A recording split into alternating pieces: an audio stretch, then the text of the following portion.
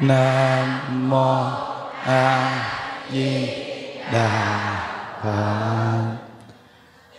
Nam mô bổn sư thích ca mâu ni phật nam mô bổn sư thích ca mâu ni phật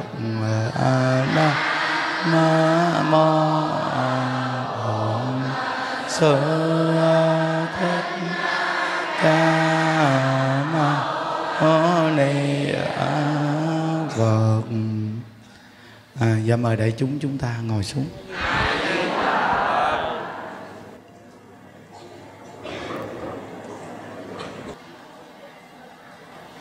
Nam mô bổn sư thích ca mâu ni phật. Nam mô a di đà phật. À, hôm nay là ngày 19 tháng 4 à, 2024 à, chúng ta cộng tu ngày chủ nhật. Và hôm nay à, có bài học tập đó là niệm phật bán khổ a di đà phật.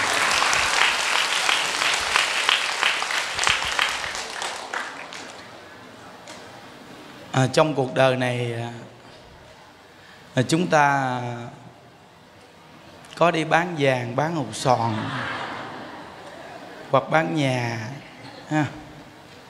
Chứ à, khổ đâu ai đâu mà mua đâu mà đi bán hả quý vị?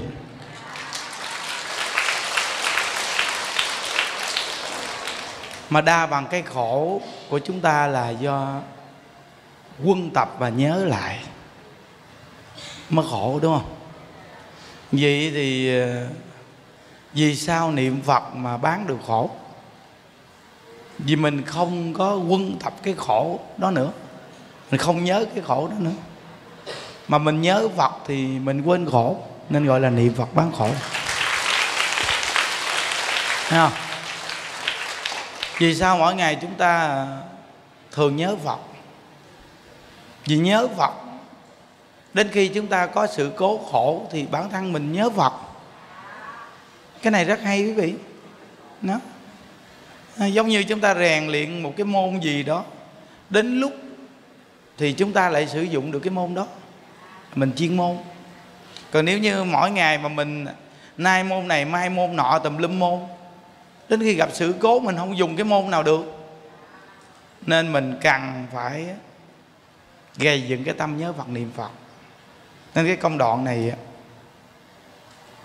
đại sư thiện đạo là hóa thân từ phật a di đà công đoạn ngài nêu lên này, đoạn này lời dạy của tổ sư này. Vì nghe những công đoạn này tự nhiên tăng tính tâm tính nguyện niệm phật của mình. Nguyên nhân như lai ra đời. Đại sư thiện đạo nói rằng, nguyên nhân đức như lai ra đời chỉ để nói bổn nguyện của phật a di đà đức phật thích ca mâu ni tại đời năm ác trượt nói pháp 49 năm. Điều quan trọng nhất là dạy chúng ta niệm một câu phật hiệu, giới thiệu cho chúng ta pháp môn tịnh độ thù thắng, có thể một đời thành tựu giải thoát sanh tử.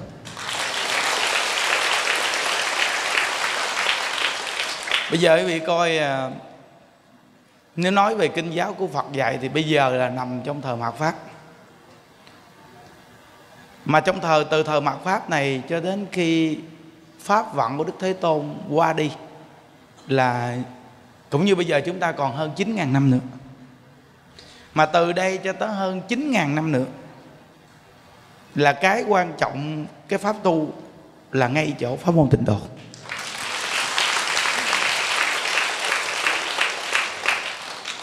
Nên á, ngài bá trượng thiền sư ngài nói câu nói là niệm phật là vững vàng nhất.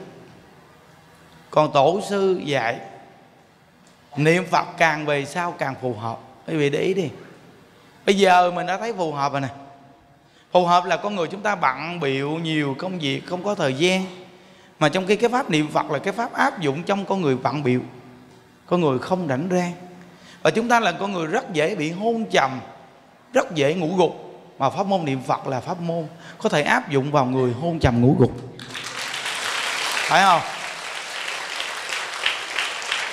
Mà quý vị biết gì sao con người chúng ta bây giờ chúng ta ngủ nhiều và khù khờ hơn con người ngày xưa không quý vị? Vì cái mê về vật chất của chúng ta nó nặng hơn người ngày xưa. Mà đã là cái mê nhiều thì ngủ nhiều, hôn trầm nhiều, ít tỉnh táo từ nơi đó mà dùng cái pháp niệm phật là tiện. Tại vì khi mình dứt mình là mình niệm Nam mô di đà phật hoặc ai di đà phật là được một câu. Còn nếu như mà về cái việc tụng kinh trì chú thì chúng ta khó. Vì chúng ta đã bỏ qua rồi là nó bị gián đoạn. Tại vì một bài chú phải hết bài. Một chương kinh phải hết chương. Còn câu Phật hiệu, một câu Nam mô Di Đà Phật hoặc ai với Đà Phật thì đã tròn vẹn. Nha. đó. Nên nói lên cái việc mà phù hợp cho quý vị thấy. Càng về sau lại càng phù hợp. Mà càng về sau thì con người chúng ta càng ngủ gục nhiều. Chứ không phải chuyện giỡn nghe. Thì vì, vì tính từ cái thời đức đức phật còn tại thế. Là con người người ta căn tính rất là cao người ta ít ngủ gục lắm. Người ta ít ngủ gục người ta mới ngồi thiền. Chứ gì? Chứ mình mà bây giờ ngủ gục sao mình ngồi thiền quý vị? Đó. Người ta ít bao giờ ngủ gục người ta tỉnh táo lắm. Nên người ta mới ở trong thiền định được. Đó. Nên từ nơi đó mà từ đó dài tới bây giờ thì con người chúng ta càng ngày càng đuối. Đúng không? Càng ngày càng mệt quý vị rồi càng ngày càng bệnh nhiều đúng không? Đó, bây giờ quý vị thấy bệnh con người bệnh rất nhiều đúng không? Rồi rất là nhiều cái khổ nó chiêu cảm đến với mình nữa nếu như mà không có cái pháp niệm phật này thì khó áp dụng. Thí dụ như một người bị bệnh ung thư, bệnh này, bệnh kia, bác sĩ chạy quý vị coi phải cái pháp niệm phật này là cái pháp cứu cứu gấp được không? Cứu gấp được. Đó. Mà cái nguyện thứ nhất là đức phật đã nêu lên rằng là dù chúng sanh đã chuẩn bị đọa địa ngục, mà nghe danh hiệu phật mà phát tâm niệm phật thì phật vẫn cứu được. Quý vị coi phải phá quá phù hợp một chúng sanh này, cả đời không tu mà bây giờ lại được dạy về tu, về niệm phật. Mà bây giờ họ ung thư, họ gần chết. Mình nói với thế giới cực lạc rất là đặc biệt, họ nghe, họ tiếp nhận, họ niệm phật. Lúc đó họ niệm phật, họ phát tâm, cầu sanh cực lạc. Họ hội tụ nhân viên. Thọ mạng lúc đó đến, phật a đà tiếp dẫn họ về cực lạc. Phải phù hợp không? Quá phù hợp luôn. Nghĩa là đặc biệt là cực kỳ phù hợp luôn. Nên mình càng tu pháp môn tịnh độ thì mình thấy quá phù hợp mà cái công đoạn này gọi là ngài thiện đạo đại sư ngài nói nghe. Mà thiện đạo đại sư là phật a di đà quá tăng. Mà lời nói là lời nói phật a di đà, ngài nói đó. Mà ngài nói lên rằng là, mà đức thích ca mâu ni là ngài đến với cái cuộc đời này thiết pháp 49 năm. Cái quan trọng là dạy chúng sanh niệm phật.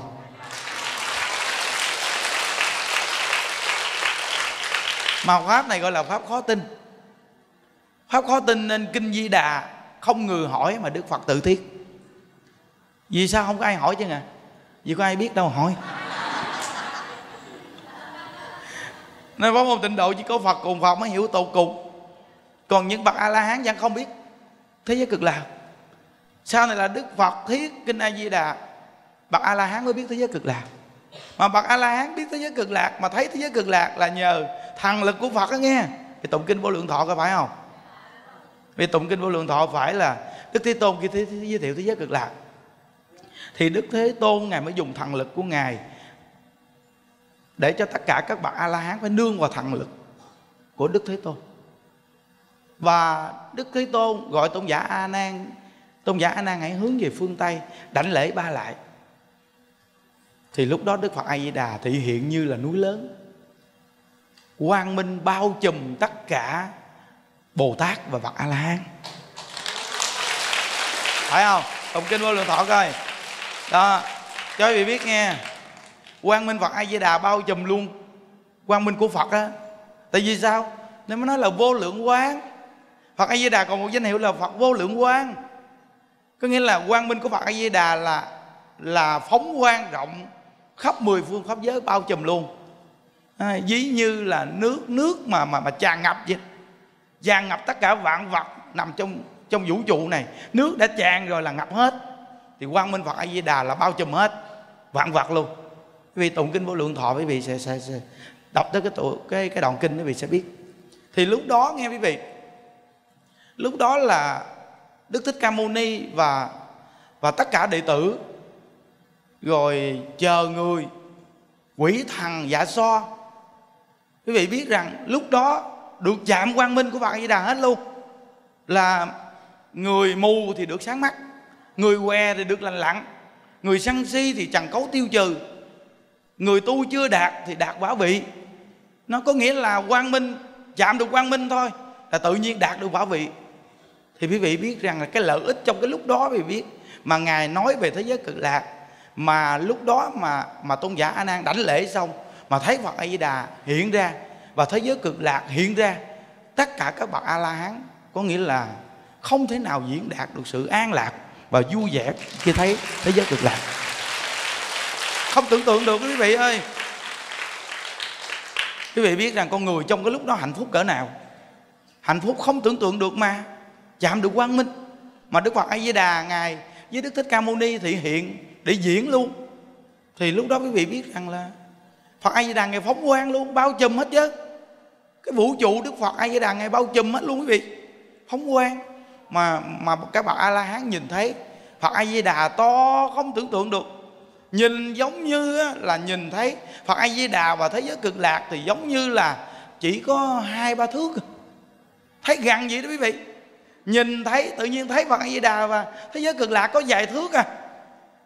Không tưởng tượng được gần gũi vậy đó. Thì bởi vậy mới thấy được thế giới cực lạc quá thù thắng.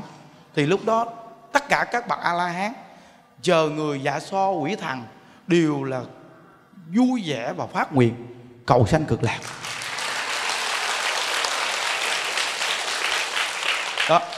Những vị lúc đó giảng sanh hết rồi. Giảng sanh hết rồi. Nó, thì tại vì cái lúc đó mà gặp trường hợp gì thì giảng sanh hết rồi, còn gì? Cái đó để lại cho mình. Bây giờ tới mình thì giảng sanh nè tới mình giảng sanh. Đó.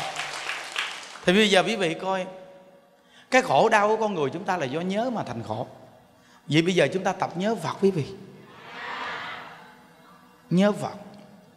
Nên công đoạn này nhắc chúng ta phải gầy dựng tính nguyện niệm phật. Và mới tin cái lời dạy đức thế tôn. Đã đức thế tôn đến với cõi đời này, quan trọng là giảng tịnh độ cho chúng sanh để tiếp nhận, để tu để cầu giải thoát. Mà bây giờ đức phật đã phát tâm từ bi như vậy, mà bây giờ mình không tin phật mà mình tin ai? Phật mà mình còn không tin, mình tin ai giờ quý vị? Đúng không? Mà những công đoạn này bị yên tâm đi, dù có trải qua thời gian lâu xa, nhưng mà những công đoạn này là chân chánh giải thoát, nên mới tồn tại nếu mà những công đoạn này mà để lại mà không phải đúng nha, là đức phật hoặc bậc a la hán đến đến để mà điều chỉnh lại liền. Không có để cho những công đoạn này tiếp tục lưu truyền đâu. Tại vì những công đoạn này đúng mới tồn tại lâu dài, thấy không? Tồn tại hoài vậy đó. Mà tồn tại kinh giáo của phật, tồn tại sách vở của tổ sư, là quý vị biết rằng tổ sư cũng là những bậc phật và bồ tát đến, thì hiện đến nên lời dạy các ngài giống như lời dạy của phật bồ tát vậy đó, là truyền tiếp tục truyền truyền truyền thì long thần hộ pháp không? các bậc hộ pháp hộ trì cái lời dạy đó. Nên từng đời đi qua nhưng lời dạy này tiếp tục truyền đi. Là nhờ các bậc hộ pháp.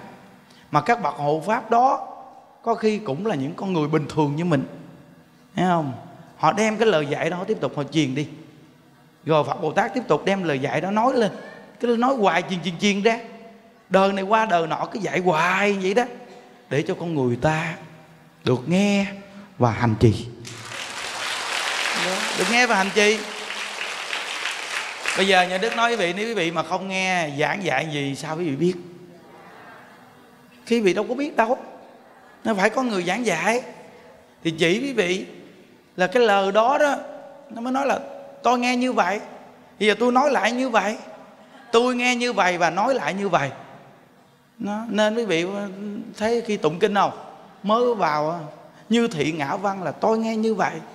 Và tôi nghe lời của phật nói như vậy và tôi nói lại lời của phật như vậy. Không thêm không bớt. Đó.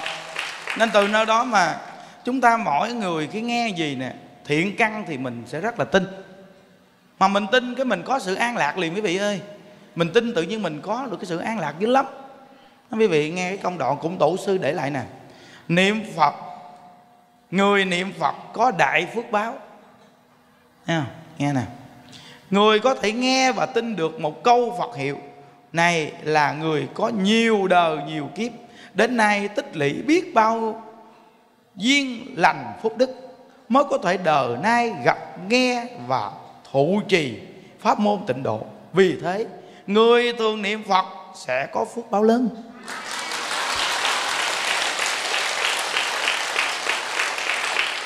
Cái phước lớn của người niệm phật á, quý vị đừng có nên nói cái chuyện là quý vị làm ăn phát đạt nhà cao cửa rộng ở đây. Mà cái phước lớn của người niệm phật là cái tâm bình an á. Đó. Cái tâm bình an á, mình ở trong cái nghèo, cái khổ mình không khổ á, đó mới là người có phước. Còn có những người người ta rất là giàu, nhưng người ta rất là khổ trong cái giàu có. Người ta giàu mà người ta không biết đủ, người ta giàu mà người ta rất là khổ. Người ta giàu mà người ta rất là keo kiệt, người ta không biết thương ai, không biết giúp đỡ ai, thì chưa nói là có phước đâu quý vị.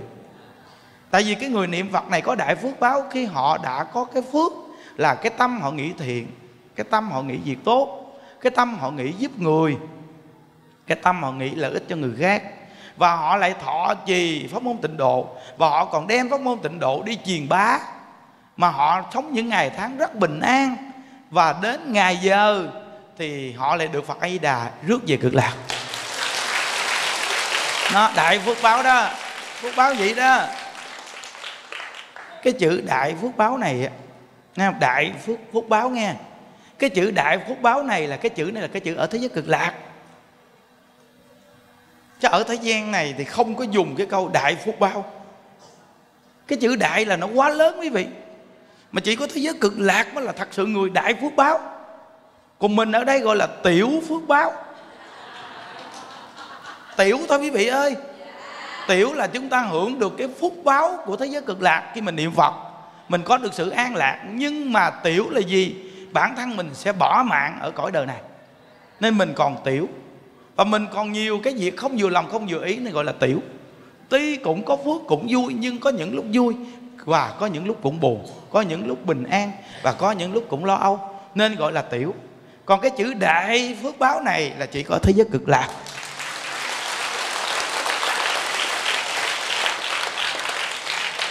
Nên á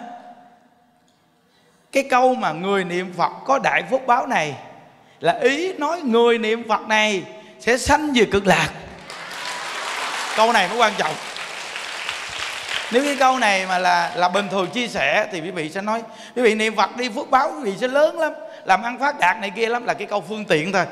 Còn cái câu này gọi là, cái câu mà gọi là, phải nói rõ là chánh văn đi, là nhắc nhở mình chân thật, chân chánh để cho mình niệm phật cầu sanh cực lạc đó thì ở cực lạc mới đại phước báo. Ừ. Dạng chắc cộng lông mi rớt vô mắt. Nên từ nơi đó mà, quý vị nhớ. Nên mỗi một người mình á, mình gặp tịnh độ mà mình tin tịnh độ là điều quan trọng.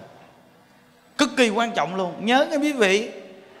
Mà tin phải tin làm sao mà phải được bồi dưỡng á. Bây giờ những đức nói quý vị nghe nè. Một cái cây bồ đề chúng ta trồng xuống đất đã nói là bồ đề thì mọc trong nhiều lãnh vực.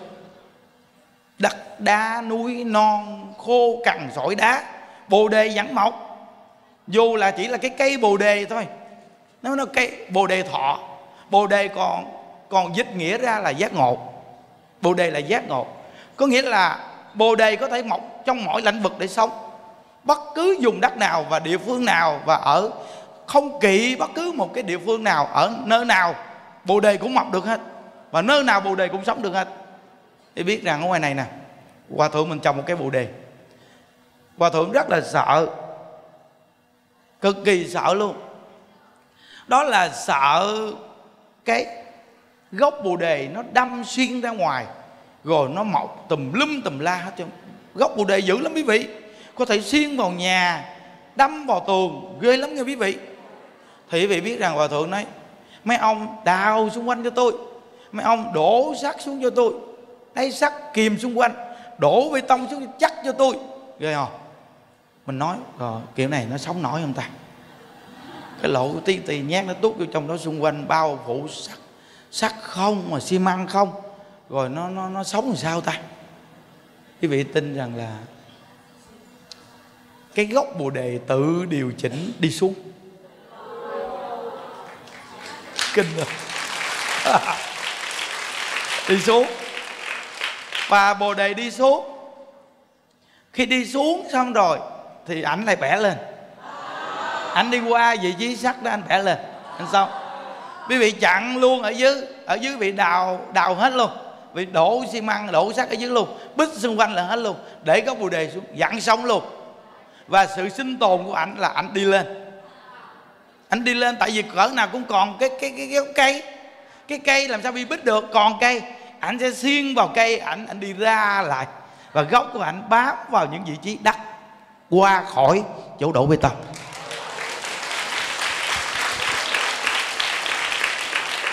Một cái cây thôi cũng dạy chúng ta một bài học vô cùng sâu sắc.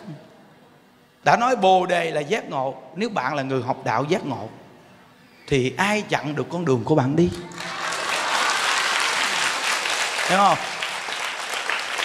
Không ai chặn được con đường của bạn đi cả. Quý vị phải nhớ rằng, nếu suy nghĩ ra được cuộc đời mình sẽ chết đi, thì đến với cuộc đời này, chúng ta bị một cái tác tai hay bị một cái quýnh đập, chúng ta hãy nghĩ thằng này sẽ chết đi.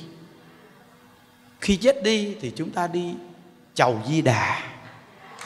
Nghĩ đến điều này mình rất hạnh phúc quý vị. Cực kỳ hạnh phúc và mọi mặt chúng ta đều chịu đựng được vì mình nghĩ mình là ở thế giới cực lạc. Mình sẽ về thế giới cực lạc. Cứ nghĩ như vậy đi. Cứ nghĩ như vậy đi. Người ta là người giúp mình để mau về thế giới cực lạc.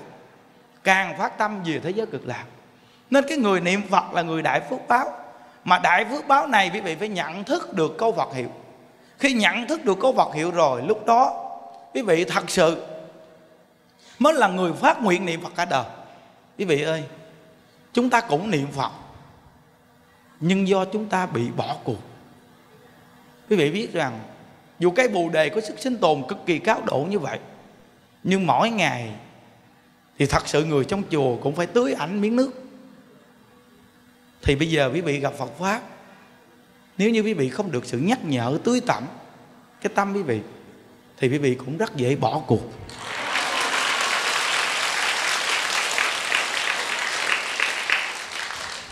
Nên quý vị nhớ rằng là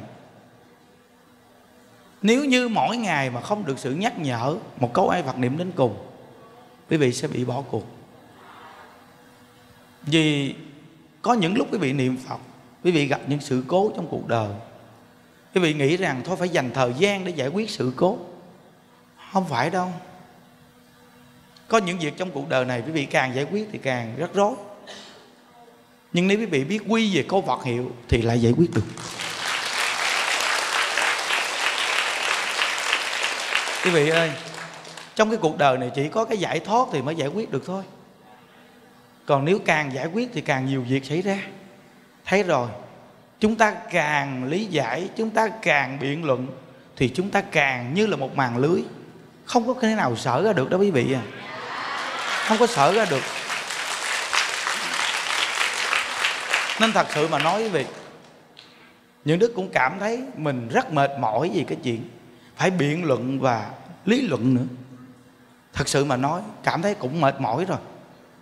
Tại vì sao? Vì nghĩ rằng chắc vô lượng kiếp mình cũng biện luận và lý luận mệt lắm.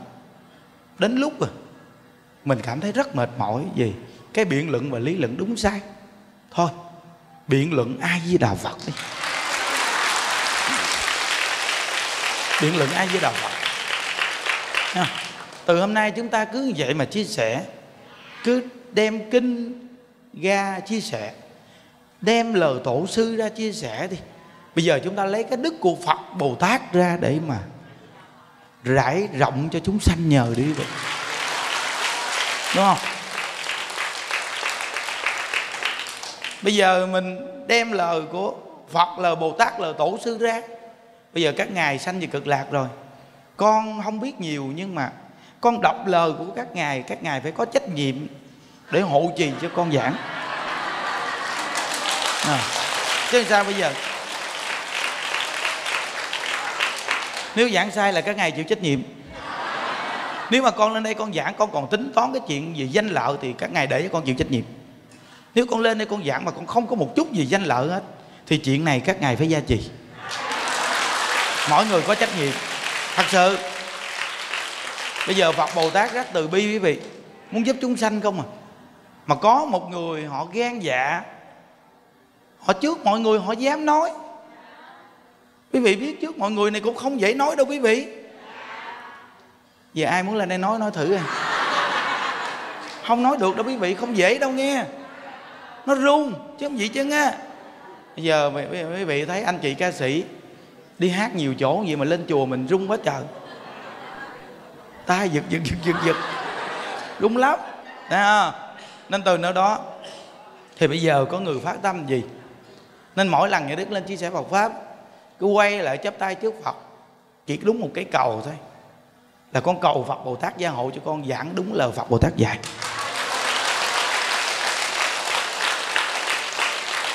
Đừng có để cho con lên đây mà suy nghĩ gì cái chuyện tiền bạc bạc chắc danh lợi gì trên đây. Hãy nói chân thật những cái gì lợi ích cho mọi người đa phần vì người ta đi. Đó. Thì bây giờ quý vị coi từ khi quý vị gặp niệm pháp môn niệm phật tới giờ quý vị niệm phật quý vị hãy bình tĩnh ngồi suy nghĩ lại coi. Từ khi vị niệm phật tới giờ quý vị thấy quý vị có vui và an lạc nhiều không? À, và quý vị thấy là cái pháp tu này mình thấy mình tu được không? À, vui. Quý vị tu được. Và quý vị có bến đổ vậy thì quý vị cố gắng. Cố gắng niệm phật. Nó bây giờ thì chùa mình từng nào những đức cũng tặng tượng phật. Quý vị nên phát động ra. À quý vị ơi nhà có thờ phật chưa? Chỉ người ta để mỗi tuần chủ nhật ta về đây ta thỉnh tượng phật về người ta thờ. Rồi bị chỉ người ta ăn bị phật sao? Rồi lễ phật sao? Thờ khóa sao? Quý vị nên nhân rộng ra và chỉ người ta. Chỉ người ta để mong người ta được lợi ích. Hãy chung tay đi. Rồi lúc này sắp sửa nghỉ hè nữa nè. Chị chị à, lúc mà chưa nghỉ hè thì dính cháu con. Bây giờ nó nghỉ hè rồi thôi chị sẵn dẫn nó đi lên chùa luôn đi. Chị lên chùa luôn nó thì vô cái lớp đạo làm con. Còn chị thì lên chánh điện tu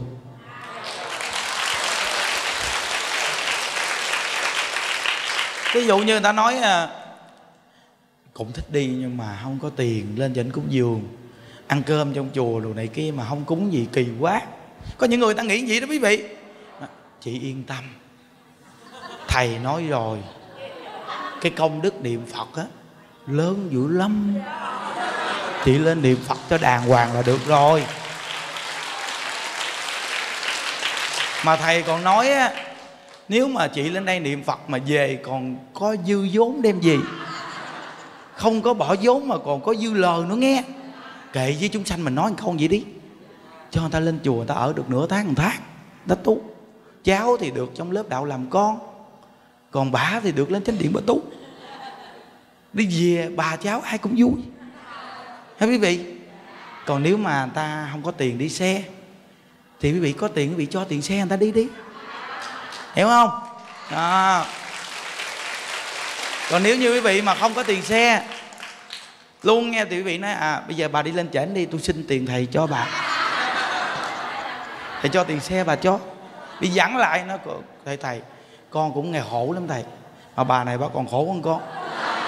Con có tiền xe đi, còn bà không có tiền xe đi nên à, con dẫn lên đại. Rồi xong cái ông chạy xe, ông đợi ngoài trước. Mấy trăm ngàn mà ông đợi ngoài trước đó thầy. Thì nó nói à, à được được được. Nè nè nè, cô bạch lấy ha. Mấy trăm ngàn đi ngoài trả tiền xe cho bà đi, cho bà đi, bà tu. Không?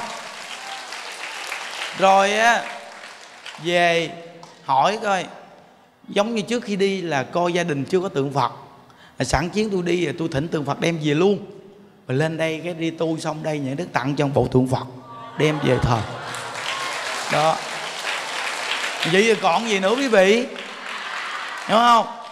Đó nên á quý vị ơi vì chúng ta biết niệm phật lợi ích nên chúng ta muốn nhân rộng cái việc niệm phật này ra cho chúng sanh lợi ích. Và chúng ta biết niệm phật á, là quá giải bớt đi kiếp nạn cho nhân sinh. Nên chúng ta mong cho nhiều người niệm phật để kiếp nạn nhân sinh quá giải xin thưa quý vị, chúng ta cũng ích kỷ lắm. Vì nếu kiếp nạn nhân sinh mà nặng thì chúng ta cũng ở trong kiếp nạn đó. Nên chúng sanh bớt kiếp nạn thì chúng ta cũng được sống bình an. Hiểu không? Nên giúp người là giúp mình đó quý vị. Đừng có nói gì người không mà mình cũng vì mình trong đó đó. Đó, nên cái người niệm phật đại phước báo là ngay cái tâm mình mở ra, tâm mở lớn ra mình mở ra hoài cái tâm lượng mình. Quý vị biết rằng cái tâm bồ tát á, còn một chút giới hạn. Còn cái tâm phật là không có giới hạn. Nên bồ tát cần phải phá một phẩm vô minh rồi mới chứng quả vị phật. Đó. Chân thật niệm phật tu hành cầu sanh cực lạc. Từ từ với có được cái tâm vô cầu vô cầu không phải là không cầu, mà tất cả cái cầu đều là vì chúng sanh mà cầu. Vì chúng sanh mà cầu, không có còn cá nhân của mình. Vì mình biết rằng mình mang cái thân này ở cuộc đời này, sớm muộn mình cũng ra đi thôi. Mình đi đến đây chỉ có mấy chục năm ngắn ngủi, cũng cảm thấy mừng khi chúng ta gặp nhau, nhìn thấy nhau ở cuộc đời này. Rồi một ngày nào mình cũng ra đi thôi khi mình ra đi, mình cũng thấy mình mừng khi mình đi đến đây, mình cũng kết nhân duyên, nhiệt tình với chúng sanh. Quý vị, thân này có thể bỏ, nhưng mà cái dư âm của con người đến với con người, nó gieo ở trong cái a lại do thức thứ tám của mình. Đời đời kiếp kiếp nó vẫn còn duy trì cái tâm đó. Thấy không? Nên mỗi một người chúng ta hãy buông sạch đi những cái tâm buồn trách để loại cái tâm buồn trách đó ra khỏi cái tâm thức thứ tám của mình. Để nhiều đời nhiều kiếp gặp lại nhau, nó không còn bị chối buộc của cái hận thù. Không còn chối buộc của hận thù. Quý vị biết á, cái thức thứ tám chúng ta nó hưng khởi. Khi chúng ta bị tác động, nó sẽ tác động theo. Tại vì đó đều là trong cái thức thứ tám sanh ra.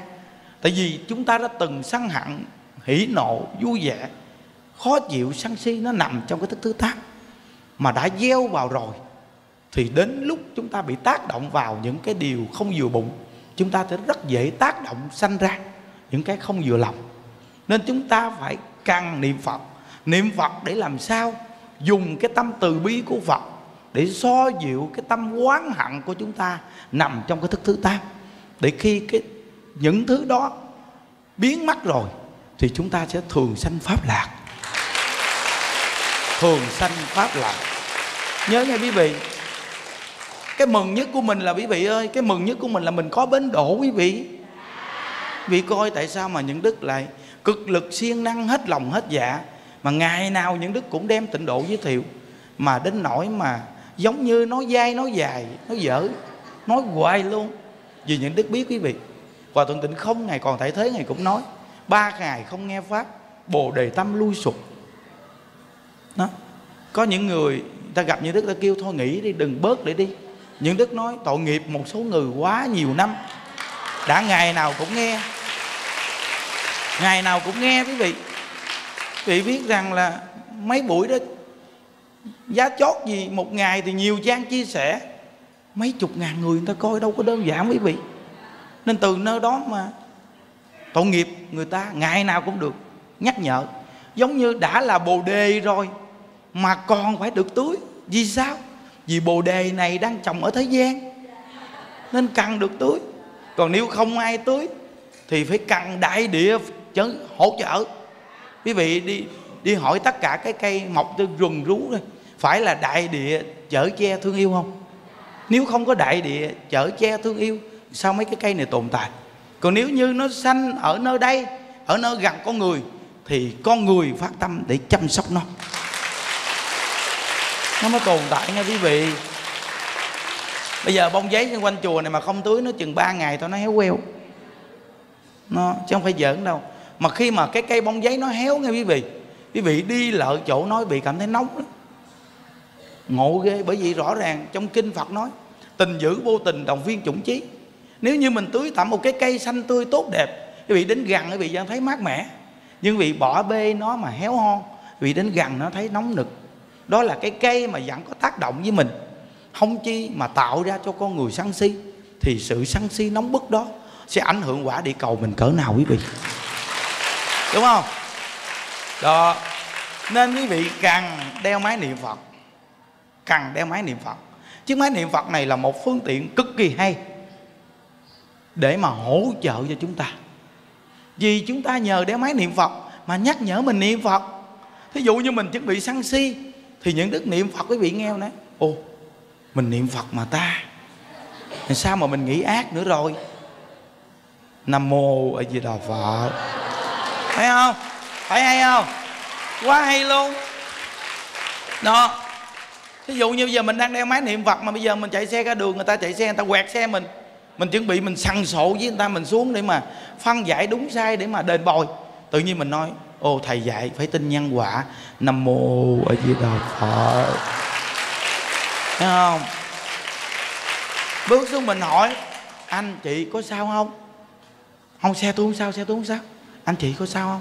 Không sao đúng không? Thôi về đi. Được rồi để xe tôi tôi đi sửa cho. Tại vì mình là người tu nó khác người không tu quý vị. Nó nên quý vị coi, coi quắc kháng á phật tử nào chạy xe quẹt xe ổng mà ông cũng cũng tức lắm tại vì chiếc xe mà hơi mà nhiều chiếc mà cọ quẹt cũng tốn tiền lắm quý vị khi mà tút lại. Thì vị biết rằng là phật tử bước xuống nói ủa anh quá khác. Em nè em nè em nè và phật tử chùa hộ pháp. À, nghe pháp thầy nhân đức thường xuyên. À, chào anh nam mô với đà phật. Thì qua lúc đó quắc kháng nói hạ cái tâm xuống ở trong lòng nó thật sự mà cũng đau nhói vậy đi sửa xe của tốn tiền lắm quý vị, cả trăm triệu. Cuối cùng bác kháng nói thôi thôi, chị cứ đi đi, được cái thì tôi đi sửa xe tôi. Quý vị thấy không? Có sức ảnh hưởng đó. Cho nếu như mà không quen biết gì, không niệm phật, thì quý vị coi nó sẽ như thế nào? Không đơn giản. Cái cách chia sẻ Phật pháp của những đức là những đức nói những câu chuyện là những đức mới đem pháp môn tịnh độ để vào câu câu chuyện đó tại vì câu chuyện đó là câu chuyện của quý vị. Nghe không? Nếu mà nói trong kinh không thì khó lắm. Khó cái gì? Quý vị khó nghe lắm. À, mà lý luận nó sẽ rất cao siêu quý vị. Thấy không? Nên từ nơi đó mà những đức phương tiện những cái câu câu chuyện gì đó. Một là quý vị cũng thấy sống động khi cái buổi nghe pháp. Vì cũng thấy vui khi buổi nghe pháp một chút đó. mà gì là thấy đạo tràng mình rất trang nghiêm rồi đó quý vị à. Đúng không mà anh nay thấy uh, cười dễ thương là cười nhẹ nhàng cười cười thì mị hơn nghe không còn lúc trước cười dữ quá rồi quơ quạt quơ đồ nhiều quá nghe không thôi mình thời gian vậy thôi rồi bây giờ mình cứ uh, thì mị đoan trang đi. Quý vị những đứa cũng cố gắng uh, túm túm lại một chút. Cũng cố gắng quý vị. Không nó nói chứ à, cũng à, nó nó nó nó nó nó cũng khó lắm quý vị. Tại vì mình là nó nó nó nó quen rồi quý vị. Nó vui cười rồi hoạt bát rồi giáo giác quen rồi quý vị bây giờ mà kêu mà phải, phải, phải, phải nhìn một chỗ đồ nó tự nhiên nó bị một cái gì đó. tại vì hai bên cánh này người ta đang quan sát mình. Nên cái sức hút của nó cũng không đơn giản quý vị. Nó cái tần số hút á kéo. Tự nhiên trong lòng mình đang chia sẻ bộc pháp mình nghĩ người ta đang nhìn mình mình không nhìn lại một cái thấy làm sao nó nó thấy tội nghiệp quá. À, người ta đang nhìn mình quý vị những đức gì đó quý vị ơi. Cái bữa đó những đức chạy xe đạp dung vòng vòng chùa. Chùa mình rộng mà quý vị. Chạy sẽ đạp vòng vòng chùa, coi mấy cái cây bông giấy đồ, cây cối. Mấy anh em ông chăm sóc có bỏ quên tưới cây nào không? Thì chạy vòng vòng vòng chùa, cứ gặp phật tử, người ta cứ chào chào chào. Mà người ta chào mà không quay lại, gạt đầu với người ta kỳ quá. Mà nếu đưa tay lên thì chạy một tay, sợ té. Nên cứ quay quay là gạt đầu gạt đầu. Ai với đạo phật, ai với đạo phật. Mà người ta cứ, chùa mình đông người quá, người ta cứ chào suốt. Ai với đạo phật, ai với đạo phật, ai với đạo phật cuối cùng. Đụng vô gốc cây. Vậy à. tại vì mình cứ quay lại quay lại. Mấy cô phật tử thấy tội nghiệp chạy lại đỡ xe lên. Mình cũng thấy hơi, hơi mắc cỡ. Vì thấy nó nhưng mà đây là cái công đoạn nhắc mình. Thà mình sống nhiệt tình mình lủi gốc cây một chút mà được tình người. Được tình người quý vị. Đó. Nên khi mà những đức mà mà bưng cái gì giác cái gì đó mà gặp người ta cứ chào chào là những đức cứ cái đầu gì đó, gạt, gạt, gạt, gạt đầu. Tại vì cái tay đưa lên thì không được rồi. Nên quý vị nhớ là lỡ mình cầm dao cầm búa gì đó. Không mà cái này là mình bị dính đó quý vị ơi. Cầm dao cầm búa gì tự nhiên chào cái đưa cái dao lên không, mình gật đầu thôi. Đừng có đưa cái dao lên nghe quý vị. Đúng không? Không nhất là trong chùa mình là ưa bị cái vụ mà đang cầm cây cuốc. Có cái bà cô, bà chồng rau quý vị. Bà đang cầm cây cuốc, bà cuốc đất cái bà gặp những đức, cái tự nhiên bà đưa cái cuốc lên. Bà nói, thôi thôi, cô cô cô để cái cuốc xuống đi. Những đứa còn giữ cần cổ này nuôi với bà cô. Cuốc xuống cái thôi, chắc chết mồ luôn quá. À, mình nó quen quý vị, cứ đưa tay là mình chào chào chào sát vậy nè. Nó, nên mình cẩn thận. Cầm đồ, cầm đạc mà gặp quý thầy, gặp người chào hỏi, gật đầu thôi. Chứ đừng có dở cái dao lên ta cũng sợ lắm quý vị. Hiểu chưa? Nên á, quý vị thấy cái người niệm phật á, trở lại, đi xa một chút mình. Trở lại. Quý vị nhớ nè, cái người niệm phật của mình là cái lối sống mình nó rất đơn giản bình dị. Rất đơn giản và rất bình dị. Nên mới nói là đại phước báo. Quý vị biết cái người đại phước báo là cái người đơn giản, bình dị trong cái cuộc đời. Tại vì nếu trong cuộc đời mà quý vị không đơn giản, không bình dị, là quý vị sẽ bị cuộc đời này bó buộc. Quý vị sao mà vui? Mà đã là không vui làm sao là đại phước báo? Nên quý vị là người càng đơn giản chừng nào thì quý vị càng tự tại chừng này. Càng đơn giản chừng nào thì càng tự tại chừng nay đó. Nên á, bản thân những đức thì nó thật sự quý vị là nếu không đơn giản thì không thể nào vô nhà bếp nấu ăn đâu quý vị à. Lùi cụi lùi cụi trong nhà bếp nấu ăn đâu. Quý vị thấy mà có những lúc mà nếu mà quý vị mà đứng quý vị thấy, quý vị thấy, ồ sao ông thầy ném đơn giản dữ vậy ta? Đây là những đức nói, bản thân những đức mà còn thấy ôi sao có những lúc mình đơn giản dữ vậy ta? Những đức lọ mọ lọ mọ như đức mồi lửa quý vị mồi lửa xuống nhà bếp nấu ăn với mồi lửa. Phải bắt tới bắt lui mấy cái cây củi vô. Rồi mới đi nắm một cái nắm mà mà mà mà để để nhúm á. Cái đầu quẹt nó quẹt lên mồi mồi cái đút vào cái lò để mà nhúm lửa. Cái thổi phù phù phù phù, ngồi thổi, phù phù phù. Mồi lửa mà. Thì tự nhiên bản thân mình trong cái lúc đó quý vị, mình cảm giác thì ra là mình sống như vậy thì cái cuộc đời của mình, dù trôi nổi hoàn cảnh nào, thì mình cũng sống. Đấy không? Cũng sống được hết chứ. Quý vị biết rằng có những lúc mà kho đồ ăn quý vị, những đức mà bưng mấy cái cái rổ đồ ăn á, củ quả à ạch ạch trên đức bưng như đức đổ ạch ạch ạch trên đức xào, mắc cư lắm.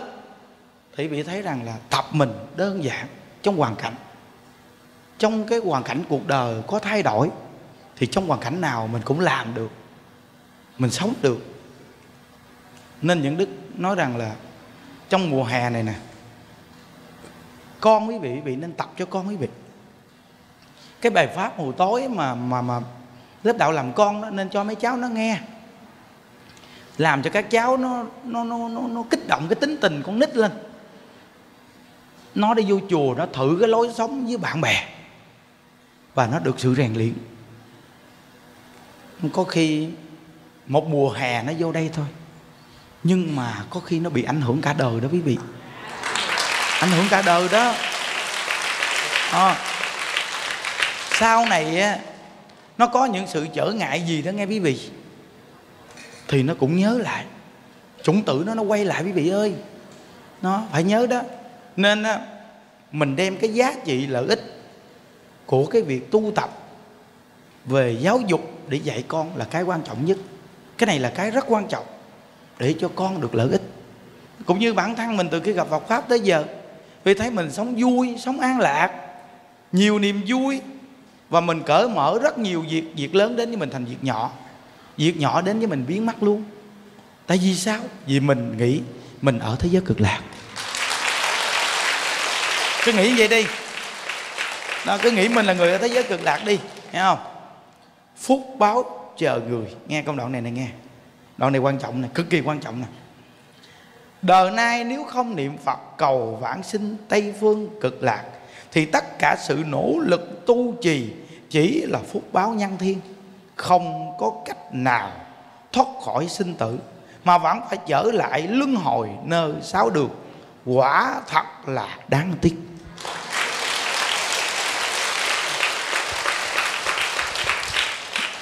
Nhưng đức đã từng kể, vị nghe cái câu chuyện của ngộ đạt quốc sư, đúng không?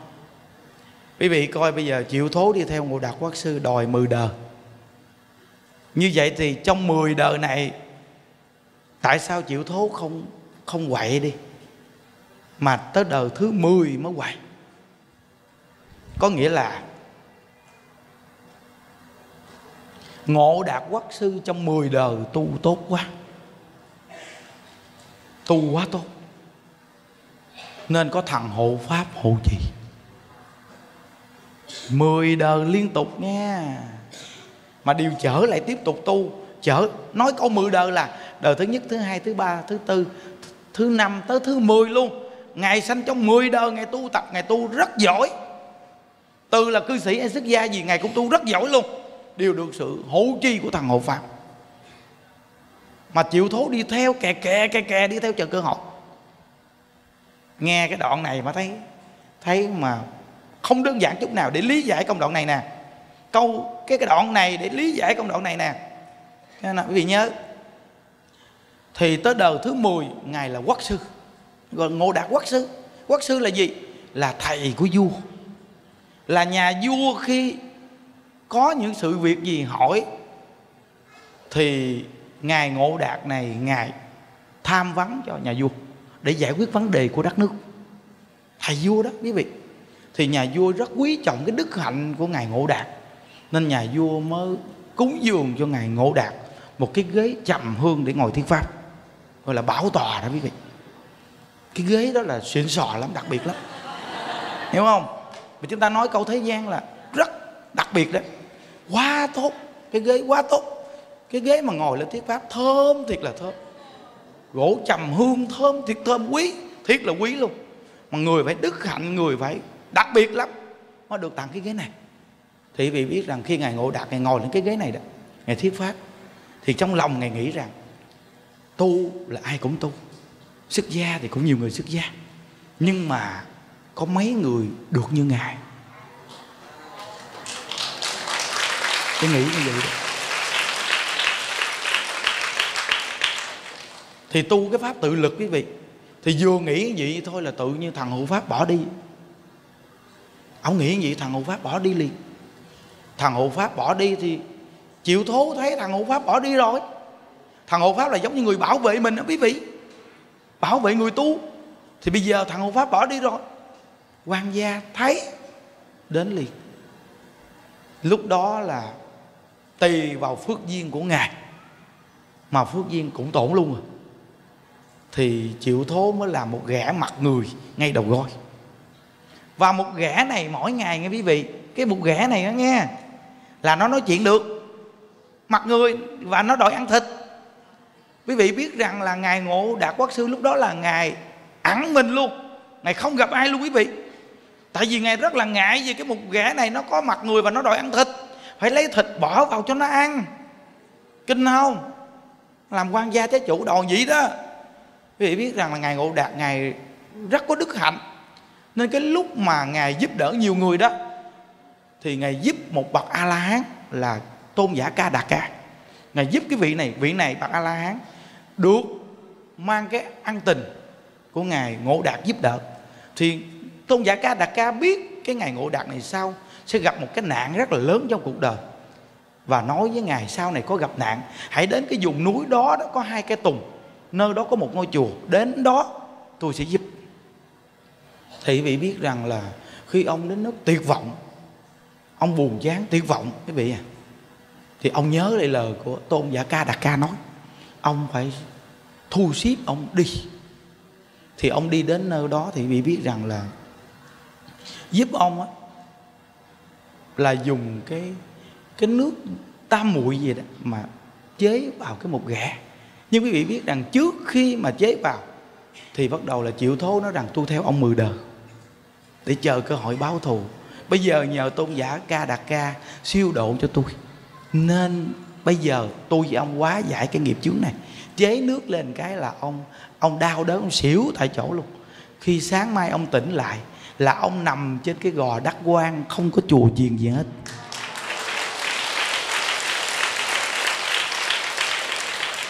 Sau này ngài ngộ đạt quốc sư ngài mới xây chùa ngay cái nơi đó luôn để, để độ sanh luôn. Mà quý vị biết rằng cái công đoạn mà khi những đức đọc đó là ngài ngộ đạt quốc sư tới đời thứ 10 đó khi ngài thoát nạn đó quý vị. Quý vị tu quý vị biết ngài tu tu cái pháp gì là không? Niệm phật. Niệm phật. Đó. Thì công đoạn này mới nói nè đời nay nếu không niệm phật cầu vãng sinh tây phương cực lạc, thì tất cả sự nỗ lực tu trì chỉ là phúc báo nhân thiên. Không có cách nào thoát khỏi, sinh tử mà vẫn phải trở lại luân hồi. Nơi sáu đường, quả thật đáng tiếc. Lý giải cho vị nghe đó. Câu chuyện đó quý vị. Thấy không? Nó nên sự tu trì có cố gắng cũng trở lại. Tiếp tục quay lại quay lại. Thì ngài ngộ đạt quốc sư trở lại mười đời. Tới đời thứ 10 của ngài giải quyết là pháp môn tịnh độ ngài niệm phật cầu sanh cực lạc.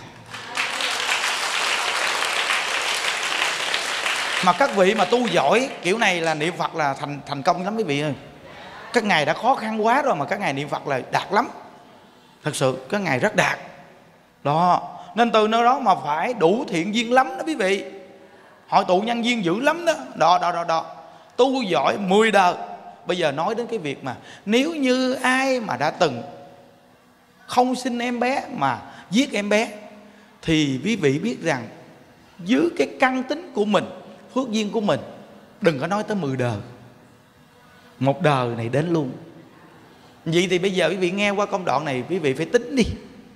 Quý vị làm sao để đời này quý vị có bến độ niệm phật chứ làm sao? Niệm phật cầu sanh cực lạc chứ làm sao quý vị? Đúng không?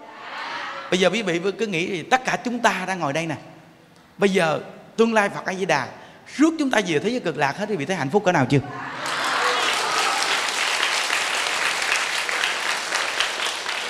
Và tất cả quý vị toàn là nam hết luôn. Mà không phải nam bình thường, mà là trượng phu, bậc trượng phu. Có 32 tướng tốt 80 vẻ đẹp. Quý vị mà cảm giác đến cái chỗ này rồi, bây giờ quý vị có nên tích cực đối với thiện tâm không? Và quý vị khi gặp nạn, quý vị có vui trả nợ không? Vui chứ. Nên mới nói rằng là nhân quả của ai, người đó chịu. Cơm áo gạo tiền thì có thể chia nhưng nhân quả của ai, người đó chịu. Nó nói là ăn chung tội riêng. Nè, giải thích cái câu ăn chung tội riêng cho bị nghe nè, để khỏi khỏi bị mù mờ nè. Vì sao nói ăn chung mà tội riêng? Vì tội là do quý vị tạo. Như vậy thì quý vị nói tại sao gia đình này sát sanh hại vật mà con cháu đến gia đình này lại bị bệnh đau và chết yểu này kia? Tại sao nói ăn chung tội kiên con cháu quý vị tạo cái nghiệp giống như vậy chiêu cảm sanh đến cái nhà quý vị chứ không phải là quý vị làm mà con cháu chịu. Nhớ nha. À, thí dụ như người cha này á, đi ra ngoài hại nhiều người, con cái người ta, thì con của họ sinh ra lại bị như vậy là vì sao? Vì đứa con của ông này có cái nghiệp đó. Sinh đến gia đình này đồng nghiệp với ông. Trả bằng cách là trả hai hai điểm là bên đây cô này khổ, người cha bên kia thấy con như vậy, người cha đau lòng. Khổ bằng đau lòng còn hơn là bằng thể xác. Phải không? Đó. Nên á, nên quý vị thấy có những lúc mà mình sinh con ra, mình nuôi con khôn lớn, mình lo lắng cho con, nhưng mà con khổ mình lại rất khổ. Là đó là cái trả về nội tâm. Vừa trả vật chất luôn mà trả về nội tâm. Khi thấy con khổ, đúng quý vị? Đó thì bây giờ quý vị hãy nhận thức về nhân quả. Nó nói là ăn chung tội duyên là như vậy nếu mà hiểu được nguyên lý này rồi á quý vị làm cha làm mẹ quý vị sẽ không dám tạo tội nghiệp. Vì mọi người đều có phước duyên. Nếu mình tạo tội nghiệp thì ăn chung mình tội riêng mà, mà khi quả báo đến với mình mình lãnh đủ luôn quý vị à. Lãnh đủ luôn rất là đáng sợ. Đó nên á quý vị nghe gì rồi quý vị rất là mừng là vì là đời này con có cơ hội đúng không thầy? Đúng rồi. Mình niệm phật là mình có cơ hội đúng rồi. Nếu như mà mình không niệm phật thì quý vị nghe công đoạn này rõ ràng mà phúc báo chờ người có nghĩa là sự nỗ lực tu đạo của quý vị. Đời thứ hai có thể phúc báo của cõi chờ hoặc cõi người. Và đời thứ ba ấn tổ nói đa phần là bị đọt. Vì cõi chờ là đời thứ nhất, dài cỡ nào cũng là một đời thứ nhất. Ngắn cỡ nào cũng là một đời phước báo hưởng Thấy không? Cõi chờ dài chúng ta xài xài hết một đời, ở cõi chờ cũng phải gớt. rồi có người phước báo thiệt lớn lại không tu cũng rất luôn. Nên đời thứ hai phước báo chờ người. Đời thứ ba thì do lúc tạo nghiệp của xài hết phước hoặc tạo nghiệp thì lúc đó đời thứ ba là rớt xuống. Ghê chưa? Nên từ nơi đó mà bây giờ mình phải suy nghĩ cho kỹ để mình biết niệm phật mình suy niệm phật mình phải an lạc cái tâm. Đó, nghe gì á nó phải an định tâm nghe đó, lúc trước tới giờ cái tông quý vị nghe là nó quen rồi. Bây giờ đổi tông nè nó à, quá giỡn đâu có nhiều cô những đức nhìn hiu hiu rồi đó. À, hiu hiu rồi đó nghe. Nhưng mà mà gầy dựng một cái tông lợ quay 180 độ cũng không đơn giản đó. Một cái lối giảng tự nhiên bình thường và một cái lối giảng trở lại gọt hết tất cả những văn tự mà quý vị nghe hồi đó tới giờ. Quen á mà gọt hết luôn á. Trở lại văn tự gọi là tương đối về dù có phương tiện cũng là phương tiện rất đơn giản. Phương tiện nó hơi cao hơn cái đơn giản ngày xưa. Hiểu không? Còn ngày xưa là nó nó nó hơi lộ vì nghe lộ quen rồi. Hiểu chưa? Còn bây giờ là phương tiện kính. Hiểu phương tiện kính không? Phương tiện kính kính là người ta không nói được. Còn phương tiện lộ, phương tiện lộ, quý vị thích, nghe vui, nghe quý vị xác thực, khỏi cần suy nghĩ luôn. Nhưng người ta lại không chịu. Một số người không chịu. Quý vị thì chịu đông gì, nhưng mà có vài ba người không chịu, một số người không chịu. Nhưng mình cũng phải điều chỉnh văn tự lên luôn. Đây cũng là cái khó của người nói và cái khó người nghe. Không phải giỡn nghe quý vị. Thấy không? Nhưng mà gầy dựng bây giờ nó sẽ rất là hay cho quý vị nè. Tại vì quý vị sẽ gầy dựng được cái câu vật hiệu này rất là đặc biệt. Những công đoạn này nghe quý vị, những đức cũng chia sẻ một câu Phật niệm đến cùng đó nhưng mà không thể nào nó nó nó nó đặc biệt trong cái hội chúng này đâu. Cái hội chúng này mà đọc những văn tự này nó hay hơn nữa. Tại vì sao? Cái sức lý giải của nó càng rộng ra hơn. Và nó còn đạt hơn nữa quý vị à. Thì quý vị mới thấy rằng là mình mừng, vô cùng mừng. Khi đời này mình gặp ngay pháp môn niệm phật. Công nhận mừng quá không? Đó. Cái suy nghĩ mà bây giờ quý vị coi. Thọ mạng khi đến mà phật a di đà ngày ngày đưa đầy sen xuống quý vị ơi bị bước lên đầy sen vì hạnh phúc cỡ nào hả quý vị? Còn bây giờ quý vị suy nghĩ. Tương lai, bây giờ hiện tại đang giàu có, đầy đủ điều kiện. Mà tương lai, vua diêm dương sai đầu trâu mặt ngựa đến, quý vị thấy đáng sợ không? Mà đầu trâu mặt ngựa đáng sợ lắm quý vị. Đầu trâu mặt ngựa bự dữ lắm, chứ không phải nhỏ như mình đâu. Đâu phải nhỏ nhỏ lùng lùng như mình mà lỡ bắt mình đâu quý vị phải bự hơn mình mới đáng sợ chứ. Hiểu không? Thì quý vị nghĩ điều đó, cái quý vị nói, thôi thôi thôi, bây giờ con không dám tạo nghiệp đâu. Thôi, con không dám đụng tới nhân quả đâu. Tại vì con đụng vô, mai mốt đầu trong mặt ngựa đến tìm con. Khổ quá. Thôi, con cố gắng. Nên đức thích ca mâu ni ngày từ bi quá chàng luôn. Ngài nói gì nè? Này các con hãy chịu khó, chịu khổ. Thấy chưa? Chịu khó là trở ngại. Chịu khổ là gặp khổ. Trở ngại và khổ, các con hãy chịu đựng một đời ngắn ngủi. Thôi các con ơi.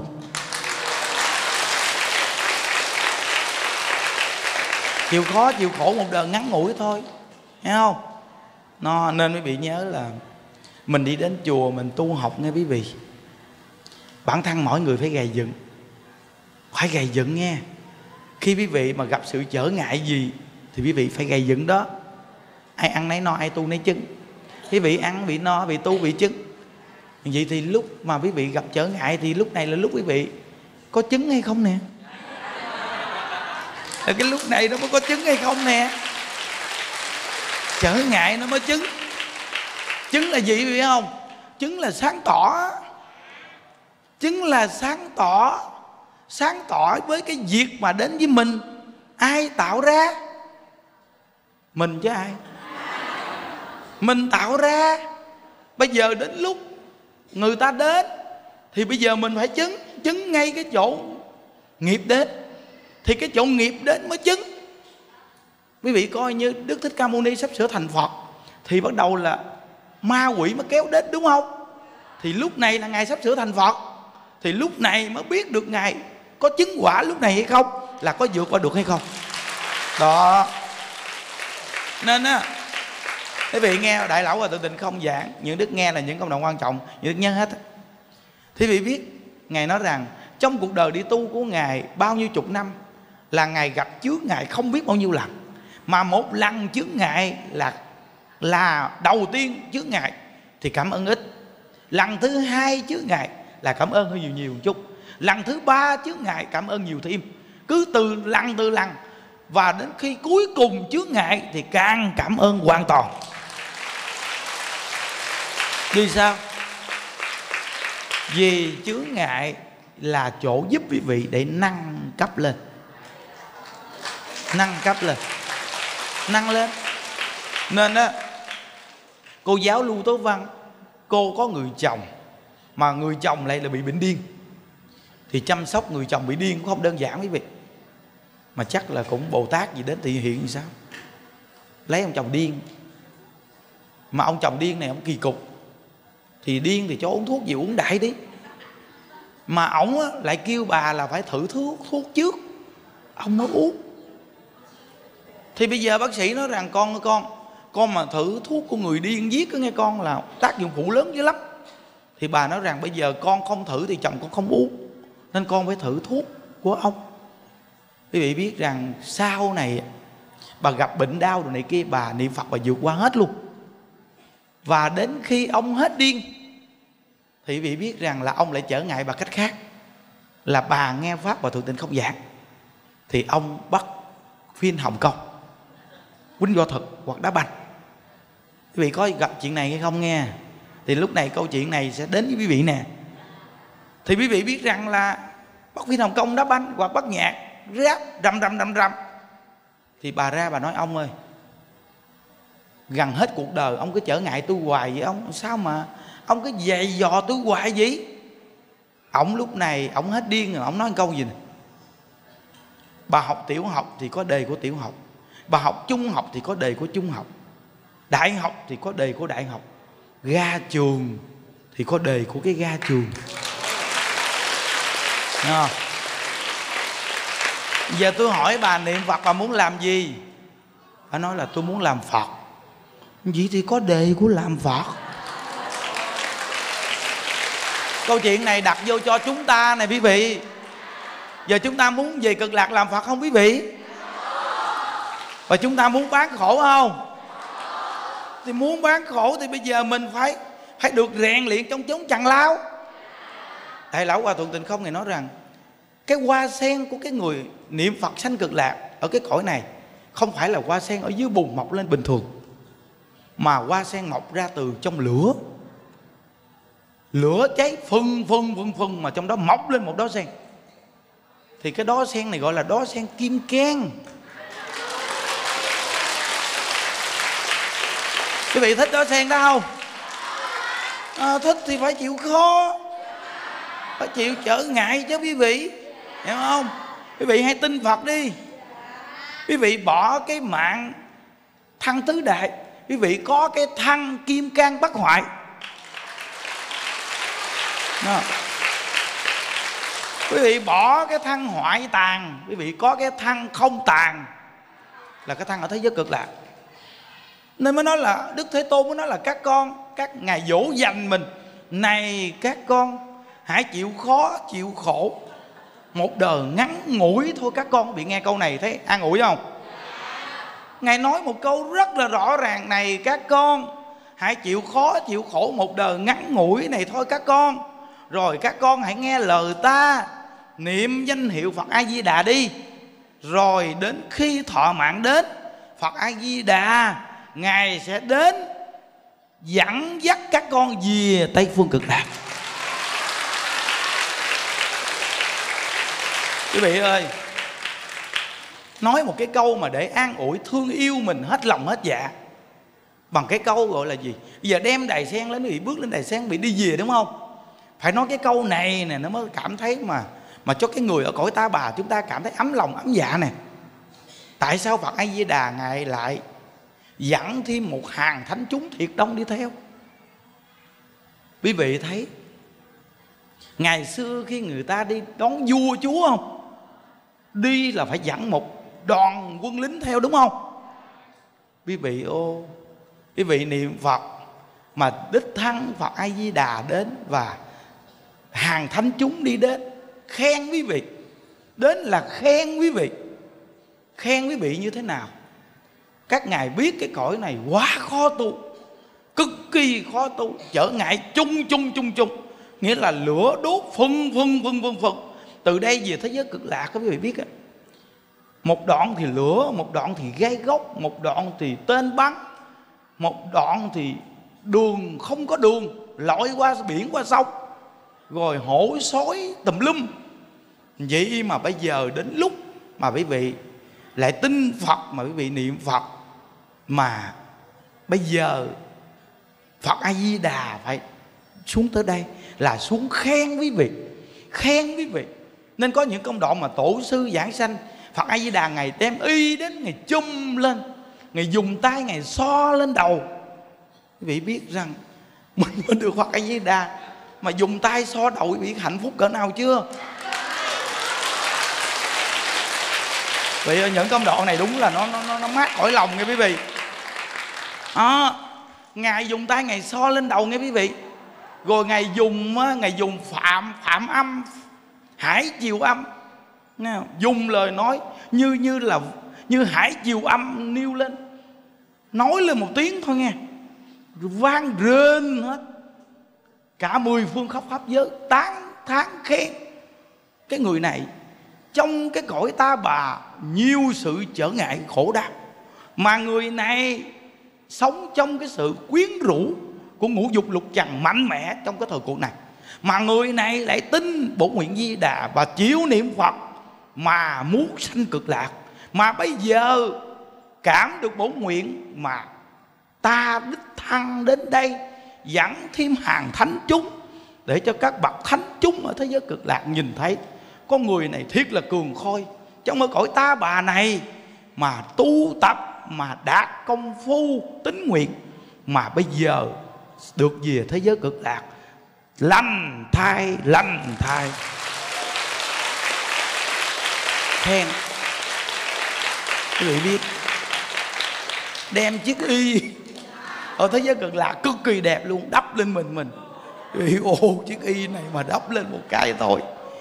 Con người nó nó nó, nó thật sự nó nó nó an lạc nó tuyệt vời như thế nào quý vị ô mà chiếc y Phật A Di Đà mà đắp lên người một cái thôi tất cả nghiệp chướng trần cấu, phiền não, chướng gì, tiêu tan mất sạch hết trơn.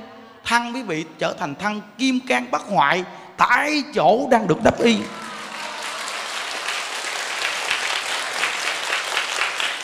Tịnh độ mà tán thán kiểu này là thôi, cái cảm giác nó hưng khởi niệm phật mà nó thích thú gì đâu quý vị. Đấy không? Bởi vì tịnh độ là cung cực cái chữ cùng cực an lạc của cực lạc là để cho quý vị tha hồ, tán thán cực lạc. Hay không? Đó. nếu như quý vị bây giờ mà chưa cảm giác được cực lạc thì quý vị nói là chúng ta hơi quá đáng không? Chúng ta hơi hô hào quá đáng không? Không. Không có hô hào quá đáng. Nếu nói về ta bà mà nói khổ thì cứ than hồ mà nói khổ đi. Vì Phật Thích Ca Mâu Ni Ngài đã chỉ điểm khổ không nói hết tha hô mà nó khổ. Khổ vi tế, khổ Nhỏ nhen, khổ đủ khổ Khổ tứ tung lang ta khổ Không thể nào chịu nổi. Bu đầu bu cổ của cái khổ. Nhưng mà nói về cực lạc Thì cũng quay lại luôn. Vi tế an lạc, Cung cực an lạc, Đặc biệt an lạc, Đầy đủ an lạc, Tự tại an lạc, Vui sướng an lạc Mọi mặt an lạc không tưởng tượng được mà quý vị. Chứ nói về an lạc của thế giới cực lạc thì cứ tha hồ mà tán thán đi. Chỉ cần tán thán làm sao mà quý vị muốn về thế giới cực lạc. Đức phật a di đà đức thích ca mâu ni sẽ khen quý vị, lành thai lành thai. Đó. nên từ nơi đó mà người niệm phật sẽ cảm giác niềm vui của thế giới cực lạc sẽ tự nhiên mình nói ra về thế giới cực lạc, hoàn toàn giải thoát được cái tâm. Mà giải thoát được cái tâm mình còn sống. Mà quan gia trái chủ đi theo mình cũng cảm giác nữa. Vì họ cũng muốn về cực lạc. Chứ bây giờ họ làm quan gia, họ đi theo mình. Nhiều đời nhiều kiếp họ cũng khổ chết mồ. Sung sướng gì đâu quý vị. Thì thôi bây giờ, nghiệp quan gia trái chủ hay là hương linh pha vì nghiệp phá thai, thôi bây giờ nghe gì? Thôi giờ phát tâm niệm phật đi coi sánh cực lạc đi. Chứ đi theo đầu nợ làm chi? Bây giờ thí dụ mình đẩy họ đi xuống dưới địa ngục, thì đã mình đẩy người ta đi đâu mình đi vô đó chứ làm sao quý vị? Quý vị, bây giờ như đức hỏi vị nè, cái cái cái cái câu đơn giản này bây giờ cái cái người này nó đang đứng gì? Mình dịnh người nó, mình đẩy nó đi.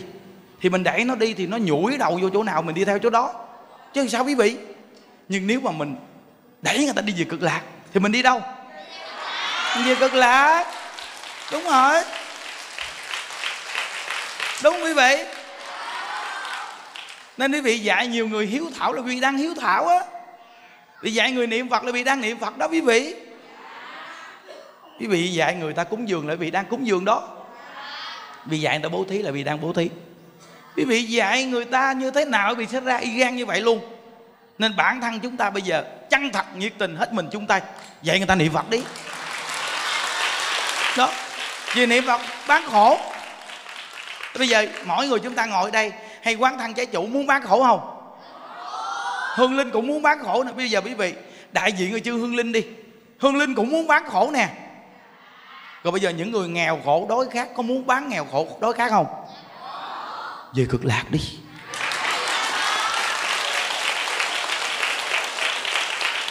Về cực lạc. Nên có đứa con nít mà nó mới có mấy tuổi thôi mà nó thấy ba của nó niệm phật. Nó nói, ba ơi ba, mỗi ngày ba niệm phật chi vậy ba? Cái người cha nói, cha niệm phật cầu sanh cực lạc. Cái hỏi cha cha, thế giới cực lạc có vui không? Người cha nói, vui dữ lắm, vui dữ lắm. Ồ, vậy sao cha không về cực lạc đi? Nó là, cha niệm mà chưa gì kịp, chưa về được vậy làm sao để đi về cực lạc? Người cha nói chỉ cần nhớ phật niệm phật. Nhìn nhớ sao? Con niệm nam mô a di đà phật hoặc ai di đà phật. Con cứ nhớ phật, con niệm phật. Con chân thật con niệm phật, phát nguyện sanh cực lạc. Đúng một lời dạy vậy thôi. Từ đó về sau đứa bé này cứ chân thật niệm phật. Thì câu chuyện này quý vị cũng nghe những đức kể rồi, phải không quý vị? Và hòa thượng tịnh không này cũng có kể mà thì quý vị biết rằng là đứa bé niệm có mấy năm thôi quý vị. Đứa bé này chưa lớn tuổi bao nhiêu hết. Thì quý vị biết rằng là nói với cha cha cha, mấy ngày nữa phật a đà đến đứa con về cực lạc rồi cha ơi. Mà vui sướng lắm quý vị ơi. Thì người cha kinh ngạc quá. Thì người cha mới nói với các bạn đồng tu. Thì đúng ngày đó người ta đến người ta cùng niệm phật với nó. Thì niệm phật một chút thì nó chào mọi người, nó giảng sanh. Dạ. như vậy thì cái người niệm phật mình mà tại sao niệm đông mà giảng sanh ít? Tính nguyện có vấn đề. Tuy nói muốn giảng sanh, nhưng thật không muốn vãng sanh. Có nghĩa là miệng thì niệm phật muốn giảng sanh, nhưng tâm không muốn giảng sanh. Mà giảng sanh là ngay cái tâm.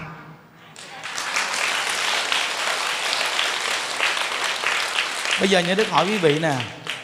Quý vị, cái miệng quý vị có thể săn si, chửi bới nhưng cái tâm quý vị không chửi bới thì cái này chỉ có miệng không có tâm, là không nói vấn đề là ác nhưng nếu miệng như vậy mà tâm cũng như vậy luôn, thì nó mới kết thành nghiệp thật sự là ác nghe không? Vậy thì quý vị, nếu chỉ có miệng niệm mà tâm quý vị không chân thật muốn gì cực lạc, vậy chỉ có cái miệng không chưa đủ tiêu chuẩn của tính nguyện giảng sanh. Mà thật sự giảng sanh là phải có cái tâm giảng sanh. Nhớ nghe quý vị, cái tâm là cái rất quan trọng mà chính cái tâm niệm phật giảng sanh đó đó là cũng là nó giải luôn cái tâm đau khổ. Sự đau khổ của chúng ta trong cuộc đời này là từ tâm đau khổ mà ra như vậy thì phải đem có vật hiệu để vào tâm. Để vào tâm, thương ngài để có vật hiệu vào tâm, để vào tâm, để vào tâm. Trong tâm đó tự nhiên sẽ điều chỉnh điều chỉnh điều chỉnh điều chỉnh. Quá giải cái tâm đau khổ. Khi quá giải cái tâm đau khổ thì hiện tướng hết đau khổ. Một trăm phần trăm luôn. Quý vị hãy kiểm tra một trăm phần trăm phải là rõ ràng là khổ là từ tâm không? Buông khổ là từ tâm đúng không? Chứ đâu phải là miệng. Miệng nó không có khổ, mà là tâm nó khổ. Nên mới nói là tất cả pháp từ tâm tưởng sanh. Tâm nghĩ sự thật. Nó nên từ tâm là phải chỉnh ngay cái tâm. Nên đau khổ là khổ ngay tâm. Như vậy thì phải dùng cái cách là niệm phật phải từ tâm. Nhớ phật phải từ tâm. Điều chỉnh cái khổ của tâm. Niệm phật bán khổ, chữ niệm là nhớ từ tâm. Nên từ tâm nhớ, nên bán cái khổ, quên khổ. Quên khổ nếu như một người nghèo mà cứ nghĩ cái nghèo là quý vị đâu có nghĩ ai với đạo phật nếu như quý vị nghĩ ai với đạo phật quý vị cứ tương lai quý vị được phật hay đã rước về cực lạc thì quý vị sẽ không nhớ cái khổ cái nghèo một cái người này bị vợ chồng bỏ quý vị sẽ không khổ vì vợ chồng bỏ là vì quý vị nhớ phật quý vị muốn về cực lạc quý vị mới không khổ vì chuyện đó người này bị bệnh ung thư mà không sợ hãi là vì quý vị nhớ Phật quý vị nghĩ Phật A Di Đà sẽ rước quý vị về thế giới cực lạc nên quý vị không có sợ chết nên quý vị không khổ có nghĩa là tất cả những cái khổ là từ tâm. Như vậy thì phải dùng cái tâm nhớ Phật thì quý vị mới hết khổ. Đó. dùng cái tâm nhớ Phật thì mới hết khổ. Nên mỗi ngày bản thân những đức là từ tâm, những đức nhớ Phật. Tại vì những đức nấu ăn, những đức cũng phải niệm Phật. Những đức trong công việc, những đức phải niệm Phật. Và khi làm việc cho con người, những đức nghĩ gì con người ta? Nên là từ tâm những đức nhớ Phật. Nên những đức mới nghĩ gì? Người ta từ tâm, những đức nhớ thì từ nơi đó mà cái khổ đến những đức nó quá giải rất là nhanh. Chuyện này chuyện kia đến những đức nó quá giải, cái tâm những đức rất là nhanh. Và xin thưa quý vị, giết rồi con người mình nó nhẹ đối với vật chất danh lợi luôn. Là vì sao? Mình cứ nghĩ thế giới cực lạc quá bao la, vạn trượng. Tại sao mình lại bị bó buộc trong cái sự nhỏ nhen của thế giới cực lạc này? Ờ, ờ, ở ở cõi ta bà này chứ đúng quý vị. Nói quý vị thấy không? Cái quân tập của cực lạc, tự nhiên mình nói nó sanh ra cái sự quên của cực lạc đó. Nên từ nơi đó mà mình phải tập thành quen, nên cái người niệm phật quen, quý vị. Ai mà hô mình, a di đà phật. Đó, nó quen vậy đó quý vị. Quân tập thành quen, nên quý vị biết là phải làm sao cho câu vật hiệu nó vào a lại gia thức chúng ta nhiều. Là lên xe, trên xe cũng có điệu niệm phật. Trong phòng có điệu niệm phật. Bước lên cầu thang có điệu niệm phật. Sân thượng có điệu niệm phật xung quanh nhà có điều niệm phật. Để làm chi? Mỗi lần nghe là gieo vào chủng tử gieo vào chủng tử gieo vào chủng tử gieo thiệt là nhiều vào chủng tử vì vô lượng kiếp tạo nghiệp cũng gieo vào chủng tử thức thứ tám. Thì bây giờ đời này phải gieo có vật hiệu vào cái thức thứ tám cho nhiều cho nhiều cho nhiều. Nhiều thiệt là nhiều. Thì quý vị biết rằng là vô lượng kiếp cái nghiệp nó nằm ở dưới. Còn bây giờ đời này chúng ta phớt lên trên câu ai cho đà phật. Nên mới nói là không giảng sanh. Nếu không giảng sanh gì cực lạc. Thì cái nghiệp nó sẽ bùng phát lại nó nằm ở dưới, nó chưa có tiêu. Giống như bây giờ, cái nước lưu á, cái lưu trong, cái cái kia là nước ở trong lưu nó trong. Nhưng ở dưới vì thấy có cặn không? Có cặn. Thì bây giờ, nếu như quý vị không giải quyết được vấn đề của cặn, thì nhất định cặn này sẽ bốc lên chắc chắn là cặn sẽ bốc lên. Nên khi quý vị mà mới biết tu á, quý vị, mới bị thấy nó an lạc là gì sao? Vì quý vị chưa bị chấp vọng tưởng. Đa phần cái người tu lâu họ bị cái bệnh này nè quý vị.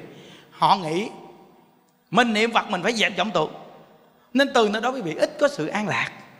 Nếu như quý vị lấy của cái tâm ban đầu là quý vị cứ niệm phật đi vì đừng có nghĩ cái vọng tưởng thì vì niệm phật rất là an lạc. Tại vì sao? Giải thích này hay nè, giải thích cái này hay nè, nghe nè, cái này quan trọng nè. Là cặn nằm ở dưới, cặn nằm ở dưới. Nước trong ở trên rồi, thì cứ cái đà đó, đổ nước trong lên cạn là gì? Vọng tưởng. Nước trong là gì? Coi như đạo phật. Thì cứ đắp coi phật lên, đắp lên đắp lên đắp lên đắp lên. Đắp thiệt là cao. Thì cặn tử nghiệp. Theo cái nguyện đó phật ấy đà rước mình về cực lạc. Hay không? Quá hay chưa? Mà khi đã về cực lạc rồi, đã về cực lạc rồi, thì ở thế giới cực lạc nó không có cái nhân tố ác xung quanh để tác động. Mà không có cái nhân tố ác bị tác động thì cái nghiệp mà là cặn nó nằm im luôn. Mà nằm im luôn thì quý vị biết cái sức ảnh hưởng của cái bài pháp của Phật A Di Đà thế giới cực lạc sẽ làm cho cặn bã nó trở thành nước trong luôn. Kinh chưa? Quá hay không? Cái đoạn này mà những đức nói thiệt mình không lẽ mình mà hét lên một tiếng nên lớn thiệt lớn, tại vì trong lòng nó cảm thấy nó vui quý vị à.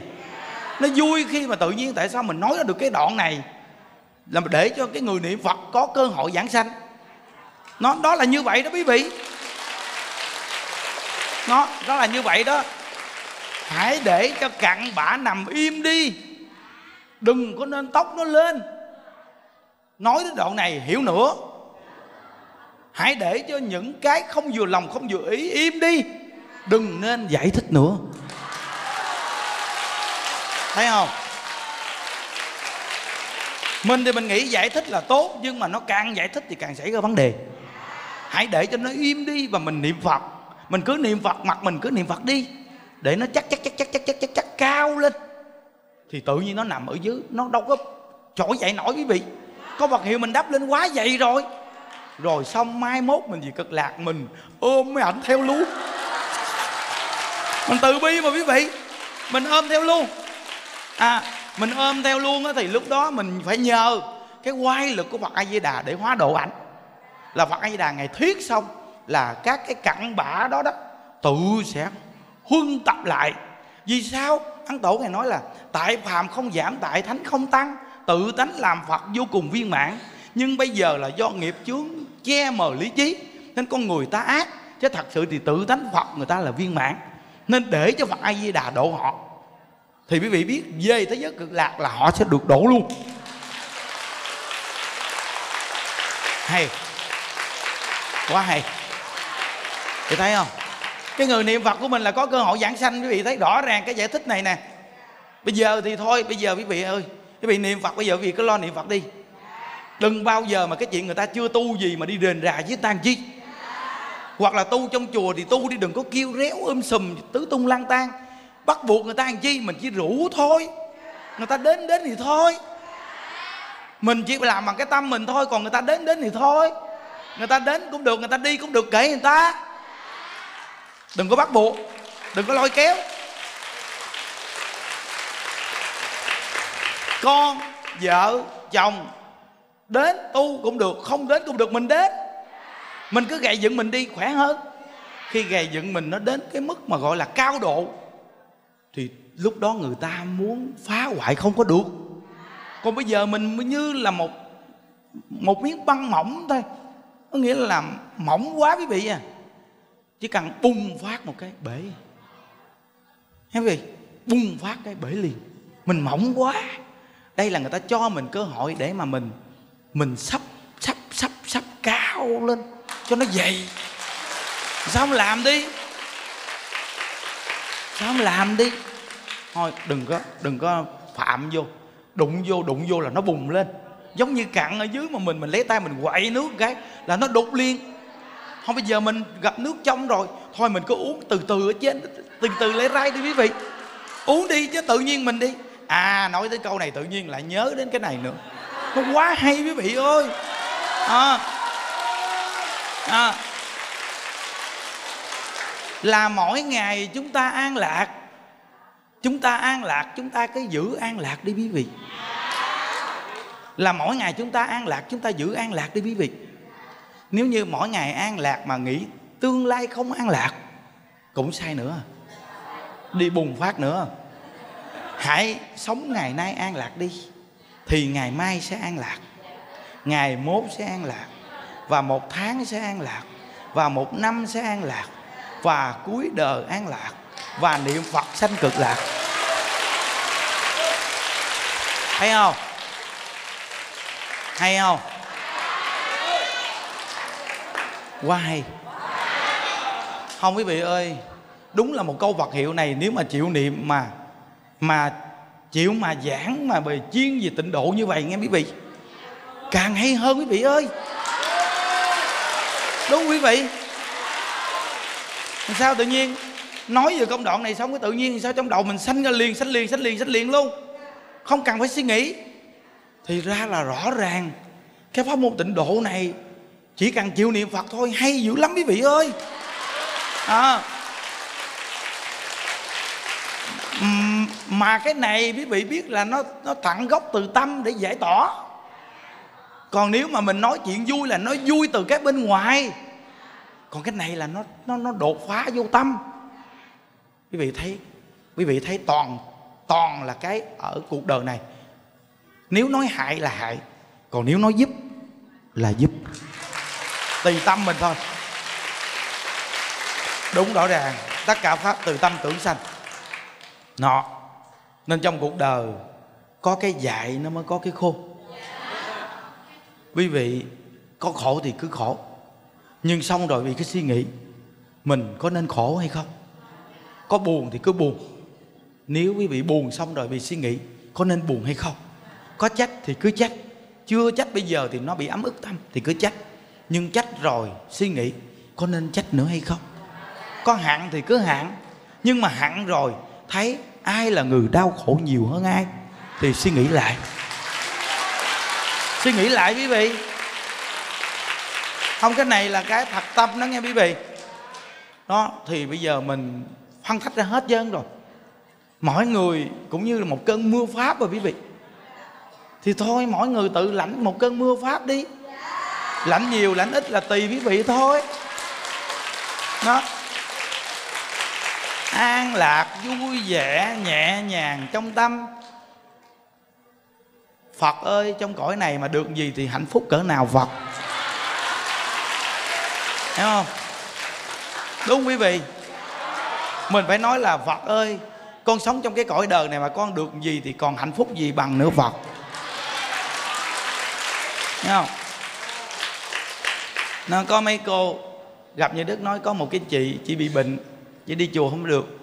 Nhờ thầy ờ, động viên chị gọi điện thoại cho chị động viên chị vài tiếng.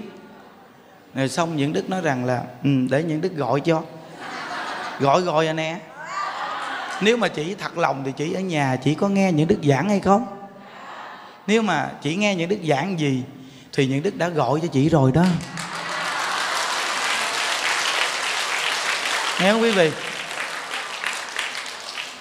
Nên à, có những cái bản thân chúng ta không khéo giúp người ta mà là hại người ta rồi sao? Nếu như quý trọng những đức dù ở nhà có bệnh, cũng cố gắng nghe những đức giảng đi. Thì tất cả những cái gì cần gọi, những đức sẽ gọi hết rồi đó. Cái gì những đức cần gỡ, những đức gỡ hết rồi đó. Mà gỡ gần 10 năm rồi, gọi gần 10 năm rồi, mà chưa đánh thức được tấm lòng mình sao?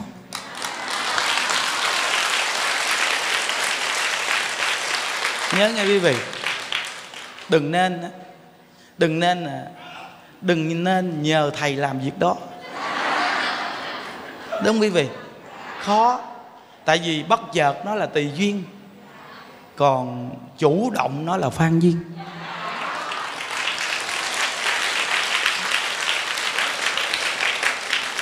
Nên mong mỏi một người à, gặp Phật pháp nên hết sức trân quý. Bây giờ quý vị về đây, quý vị cũng biết chùa mình rồi. Với cái tấm lòng ở đây sống làm sao? Thì mỗi một người quý vị về đây quý vị thấy những đức quý vị thấy cũng cực. Không vui nhưng mà thật sự nếu nói về thế gian thì cũng cực. Nó, nhất là nhất là trong thời cuộc mà gì mà bao nhiêu người gì cũng lo lắm quý vị ơi. Cũng lo lắm á. Nó, khi mà nó thật sự mà nói lo á thôi con không, không. quen rồi. Ừ thôi nói tới tóm tắt là lo đó quý vị chứ không phải chuyện giỡn đâu. Mình cứ cầu nguyện mấy bà cụ mấy bà được sống bình yên. Tại vì già rồi. Hai ngày nay thôi mà tính ra mười mấy người già đến sinh. Hồi sáng mới có ông cụ ấm như ấm nhách. Có à, mấy người nào dẫn đến đó? À, nói ông cụ cũng bị con con con đuổi nữa. Nhìn mặt mày nhăn nheo hết nhưng đức hỏi ông cụ có giấy chứng minh không? Nói là có. Nhưng đức kêu ra gặp thầy những ăn đưa bên bảo tháp cho có mấy chú chăm. Rồi có một cô lợi sinh cho một bà cụ ở mà bị con đuổi ra khỏi nhà. Hỏi là rồi bà có giấy chứng minh ông nói bà không có giấy chứng minh. Nó không có giấy chứng minh thì phải làm thì mới nhận được. Nó là chờm sớm uh, giúp cho bà. Nó không được. Tại vì khi làm giấy báo tử phải cần giấy chứng minh đàng hoàng à, giúp dùm làm giấy chứng minh. Mà hỏi bà đi được không? Nói bà đi được có một chân.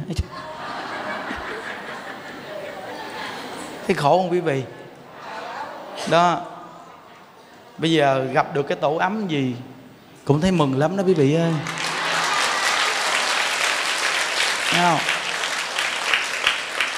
Nên quý vị về đây mà quý vị còn ờ, còn không hiểu được nữa thì thôi mình về đây mình không hiểu được nữa, thôi quý vị ơi. Nên quý vị ờ, hãy kiên cố tâm của mình mà niệm phật. Nghe không? Kiên cố tâm mình mà niệm phật đi. Bây giờ ờ, bữa nay 19 rồi. Thì ờ, đúng ra là hai tháng nữa, đúng hai tháng nữa. Là dưới ông âm ngày 9 luôn, nghe không? Nhưng mà mình thì tổ chức ngày 18 19 17 thì đi rồi. Quý vị biết rằng tượng Phật đợt này như đức đặt nhiều dữ lắm những đức bây giờ rất chú trọng cái chuyện làm tượng Phật. Để tặng quý vị.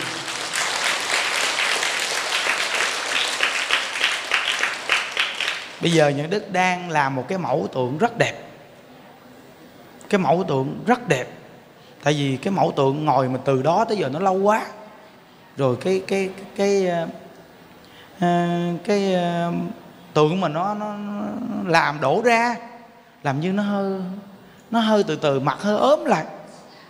Tại vì nó đổ lâu quý vị. Cái khuôn đổ lâu á nó bị mòn đi. À, nên bây giờ nhà đức đang coi một cái mẫu tượng rất đẹp mặt mày cho đầy đặn. Mặt đầy đặn ta thương hơn nên mình. Phải làm phật mặt đầy đặn quý vị ơi. Ừ. nên từ nơi đó thôi mình chắc mình cũng cố gắng à, buổi chiều ăn cơm rồi lại cho mặt đầy đặn lại.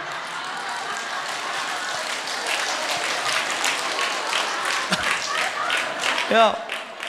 Nên từ nơi đó mà chị biết ra Nên nó mình thôi bây giờ mình từ hôm nay Không mà chia sẻ gì là cảm thấy là Là đặc biệt tịnh độ rồi đó quý vị ơi Đúng không? Mà quý vị thấy vui không quý vị? À, mà này là vui từ tâm đặc biệt mà mà mà gầy dựng tính nguyện càng mạnh thêm đúng không quý vị gầy dựng tính nguyện càng mạnh thêm đó vậy thì từ hôm nay chủ nhật nghe, chúng ta sẽ đi về cực lạc.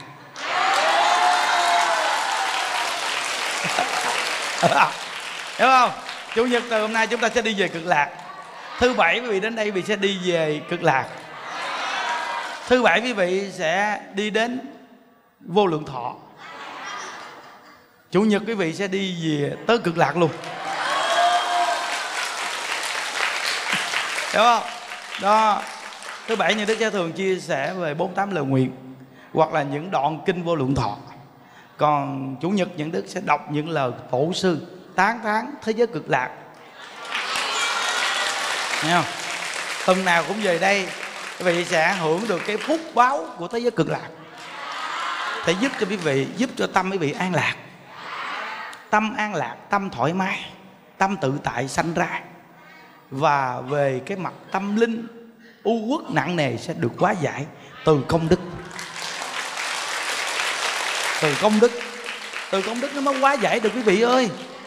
Nên trong mùa hè này nè, tất cả các vị trưởng đoàn nhiệt tình giúp người ta đi tu. Cái công đức giúp người ta đi tu lớn dữ lắm. Một người trưởng đoàn mà không đi, những người kia khó đi. Những đức rất là tội nghiệp, những người người ta không đi được nên trong mùa hè này, những người chưa làm trưởng đoàn nên phát tâm làm trưởng đoàn đi còn những người đã làm trưởng đoàn rồi thì càng trưởng thêm. Để cho nhiều người đi theo mình tu, quý vị. Những đức sẽ nỗ lực hết mình. Nào là chuẩn bị đồ ăn, thức uống, nấu ăn đồ cho quý vị. Rồi lên làm sao tán thán cực lạc bằng cả tấm lòng, cầu phật gia hộ. Cho bị nghe. Hiểu không? Rồi về được thỉnh tượng phật, đem về thờ đó, nên từ nơi đó nên nhiệt tình dẫn người ta đi tu. Đừng có thói tâm dẫn đợi người đi tu nghe. Nó, bây giờ thí dụ như những đức cái gì, thì đó là lỗi lầm những đức, nhưng quý vị dẫn người ta đi tu ở đây là tốt rồi. Hiểu không? Đó, tại vì ở đây có tấm lòng, muốn nhiệt tình, muốn đem tịnh độ, đem cái pháp của phật mà muốn gỡ đến quý vị quý vị nên dẫn người ta đến để người ta nắm được cái pháp của phật để giải quyết khổ đau cho cuộc đời người ta. Đúng quý vị. Nên phát tâm nhiệt tình lên. Rồi có con gái đồ mà muốn ở đây tu trong dịp hè thì ở đây. Nó những đức uh, sắp xếp cho các cháu. Còn con trai thì qua bên kia kệ cho các cháu có nhân viên được ở trong chùa. Những đức sắp thời khóa tu đồ sẵn hết rồi. Cho các cháu nó được tu tập rồi được vui ở trong chùa và thượng thì cũng thương nít lắm, thấy không? Nó nên từ nơi đó mà những đức chia sẻ vậy đó, mong quý vị về nhà càng siêng niệm phật, tu tập hai thờ. Rồi trong cái thời điểm mà nghỉ hè này nè, ai vô đây cộng tu được thì vô đây. Nó, thí dụ như muốn ở bên hộ pháp thì sẽ sắp xếp cho quý vị. Còn ví dụ như nam thì không có chỗ ở thì qua bên kia rộng thênh thang, nữ ở bên đây. Nó, mình cứ vô đây mình cộng tu. Nó, mấy điểm chùa mà cơ hội dịp nghỉ hè. Nó một là gì?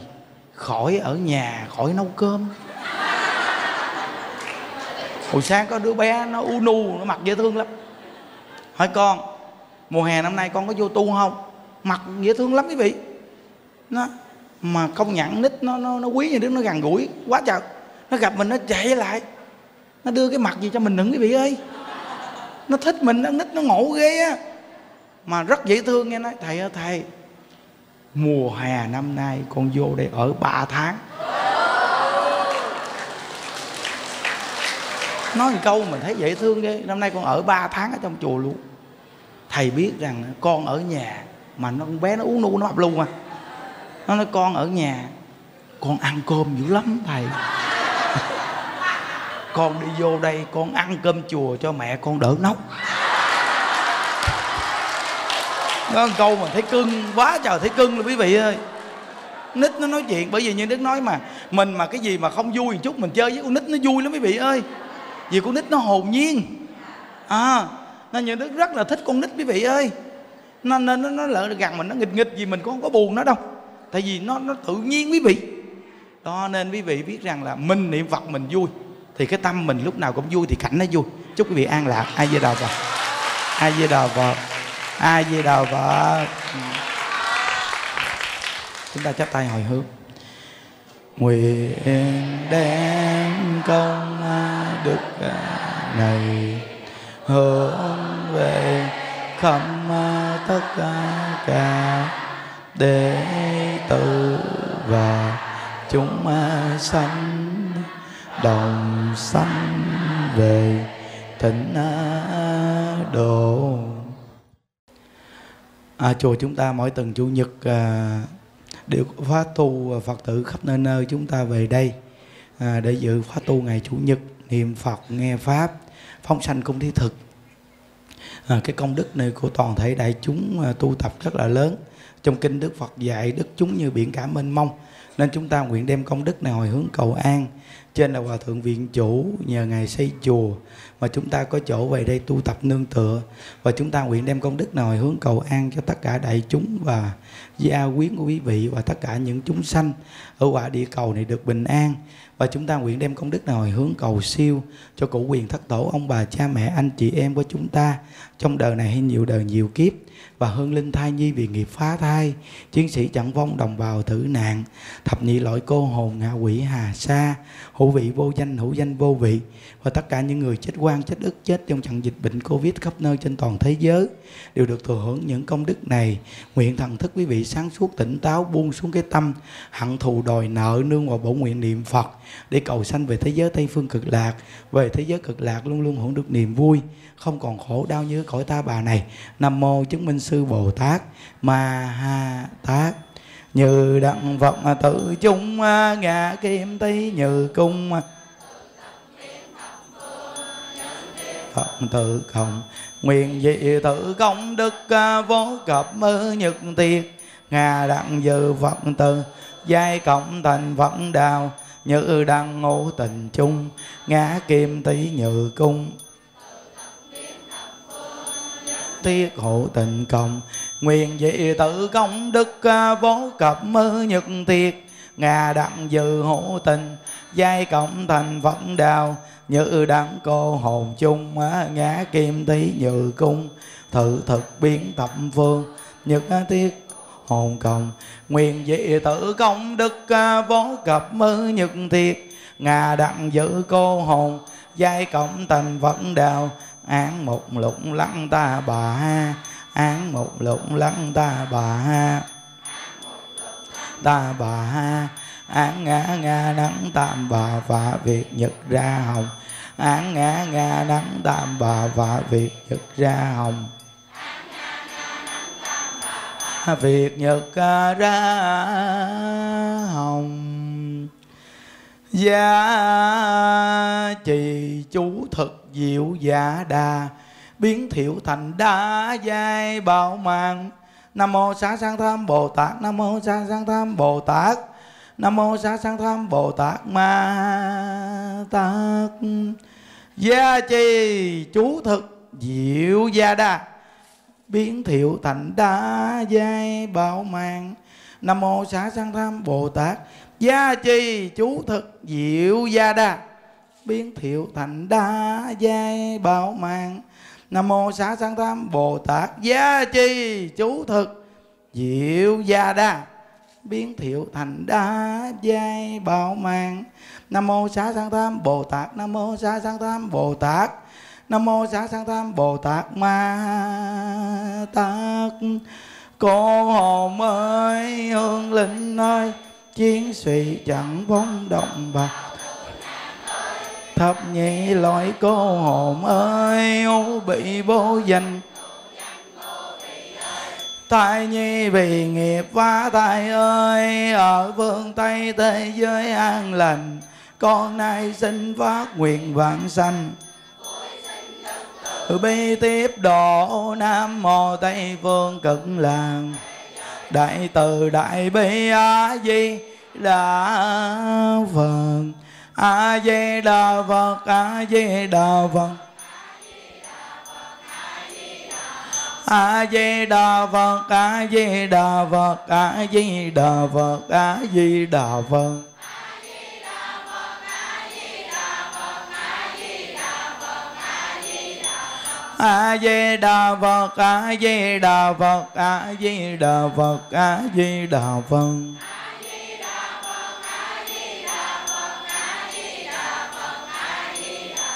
a di đà phật a di đà phật a di đà phật a di đà phật a di đà phật a di đà phật a di đà phật a di đà phật a di đà phật a di đà phật a di đà phật a di đà phật a di đà phật a di đà phật a di đà phật a di đà phật a di đà phật a di đà phật a di đà phật a di đà phật a di đà phật a di đà phật di đà phật a di đà phật a di đà phật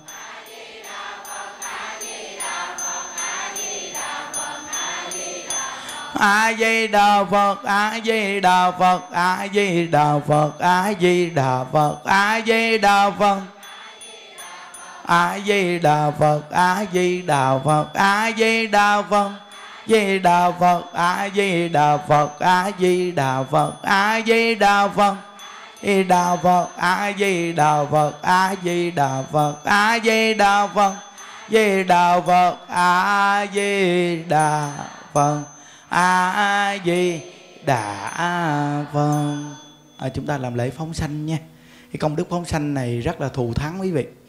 Nhất là các cháu nhỏ mà còn nhỏ mà được làm lễ phóng sanh gì nè. Các cháu sẽ có một cái sự chuyển nghiệp rất đặc biệt. Nếu cháu nào bệnh đau đồ nè ăn không ngon ngủ không yên hoặc chậm nói rồi ha. À, hoặc là có những người ung thư bệnh đau đồ á cố gắng ăn chay phóng sanh niệm phật. Cái này hay dữ lắm nó nên từ nơi đó mà có thể chuyển hóa được cái nghiệp rất đặc biệt. Như các cháu này mà tương lai mà nhiều đứa nó lớn lên nó bắt hiếu với cha mẹ đó, nhưng mà đi đến chùa sớm gì nè? Rồi được phóng sanh niệm phật đồ đứng ngoan đàng hoàng. Sau này lớn lên hết bắt hiếu với cha mẹ chuyển hóa nghiệp. Có đứa bé kia bây giờ cấp nó đi đến chùa mình mà nó nó chậm nói lắm. Nó hình như là sáu bảy tuổi vậy mà nó nói mấy câu. Vậy mà dẫn đến cái lớp đệ tử quy mình thời gian giờ nó nói quá chen luôn mẹ nó nói bây giờ nó nói còn hơn mấy đứa nhỏ nít khác. Vì thấy ngộ ghê nó chuyển nghiệp quý vị ơi. Nên cái công đức này lớn dữ lắm. Nên à, cầu nguyện cho quý vị mà về chùa ai cũng à, chuyển hóa được cái tâm mà hung dữ rồi buồn phiền đồ hết. Rồi từ từ quý vị hiền. Hiền như cục đất.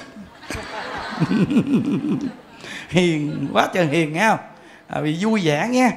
Rồi những người ung thư đồ phấn chấn lên để mà niệm phật cầu sanh cực lạc giờ chúng ta đọc tam quy y này quý vị quy y phật không đọa địa ngục quy y pháp không đọa ngạo quỷ quy y tăng không đọa bàn sanh quy y phật không đọa địa ngục quy y pháp không đọa ngạo quỷ quy y tăng không đọa bàn sanh quy y phật không đọa địa ngục quy y pháp không đọa ngạo quỷ quy y tăng không đọa bàn sanh à, chúng ta đồng niệm phật để thả chim nha a di đà phật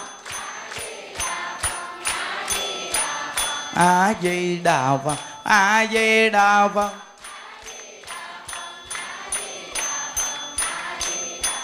a di đà phật a di đà phật a di đà phật a di đà phật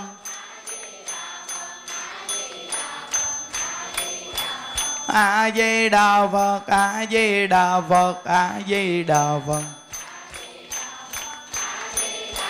a di đà phật a di đà phật a di đà phật a di đà phật a di đà phật a di đà phật a di đà phật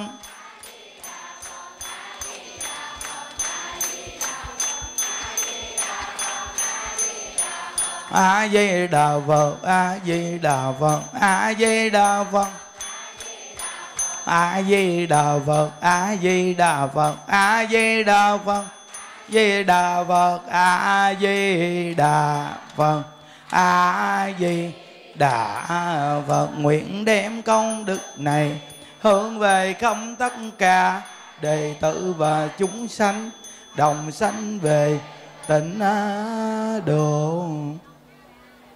Chúc vị an lạc vị ơi. Música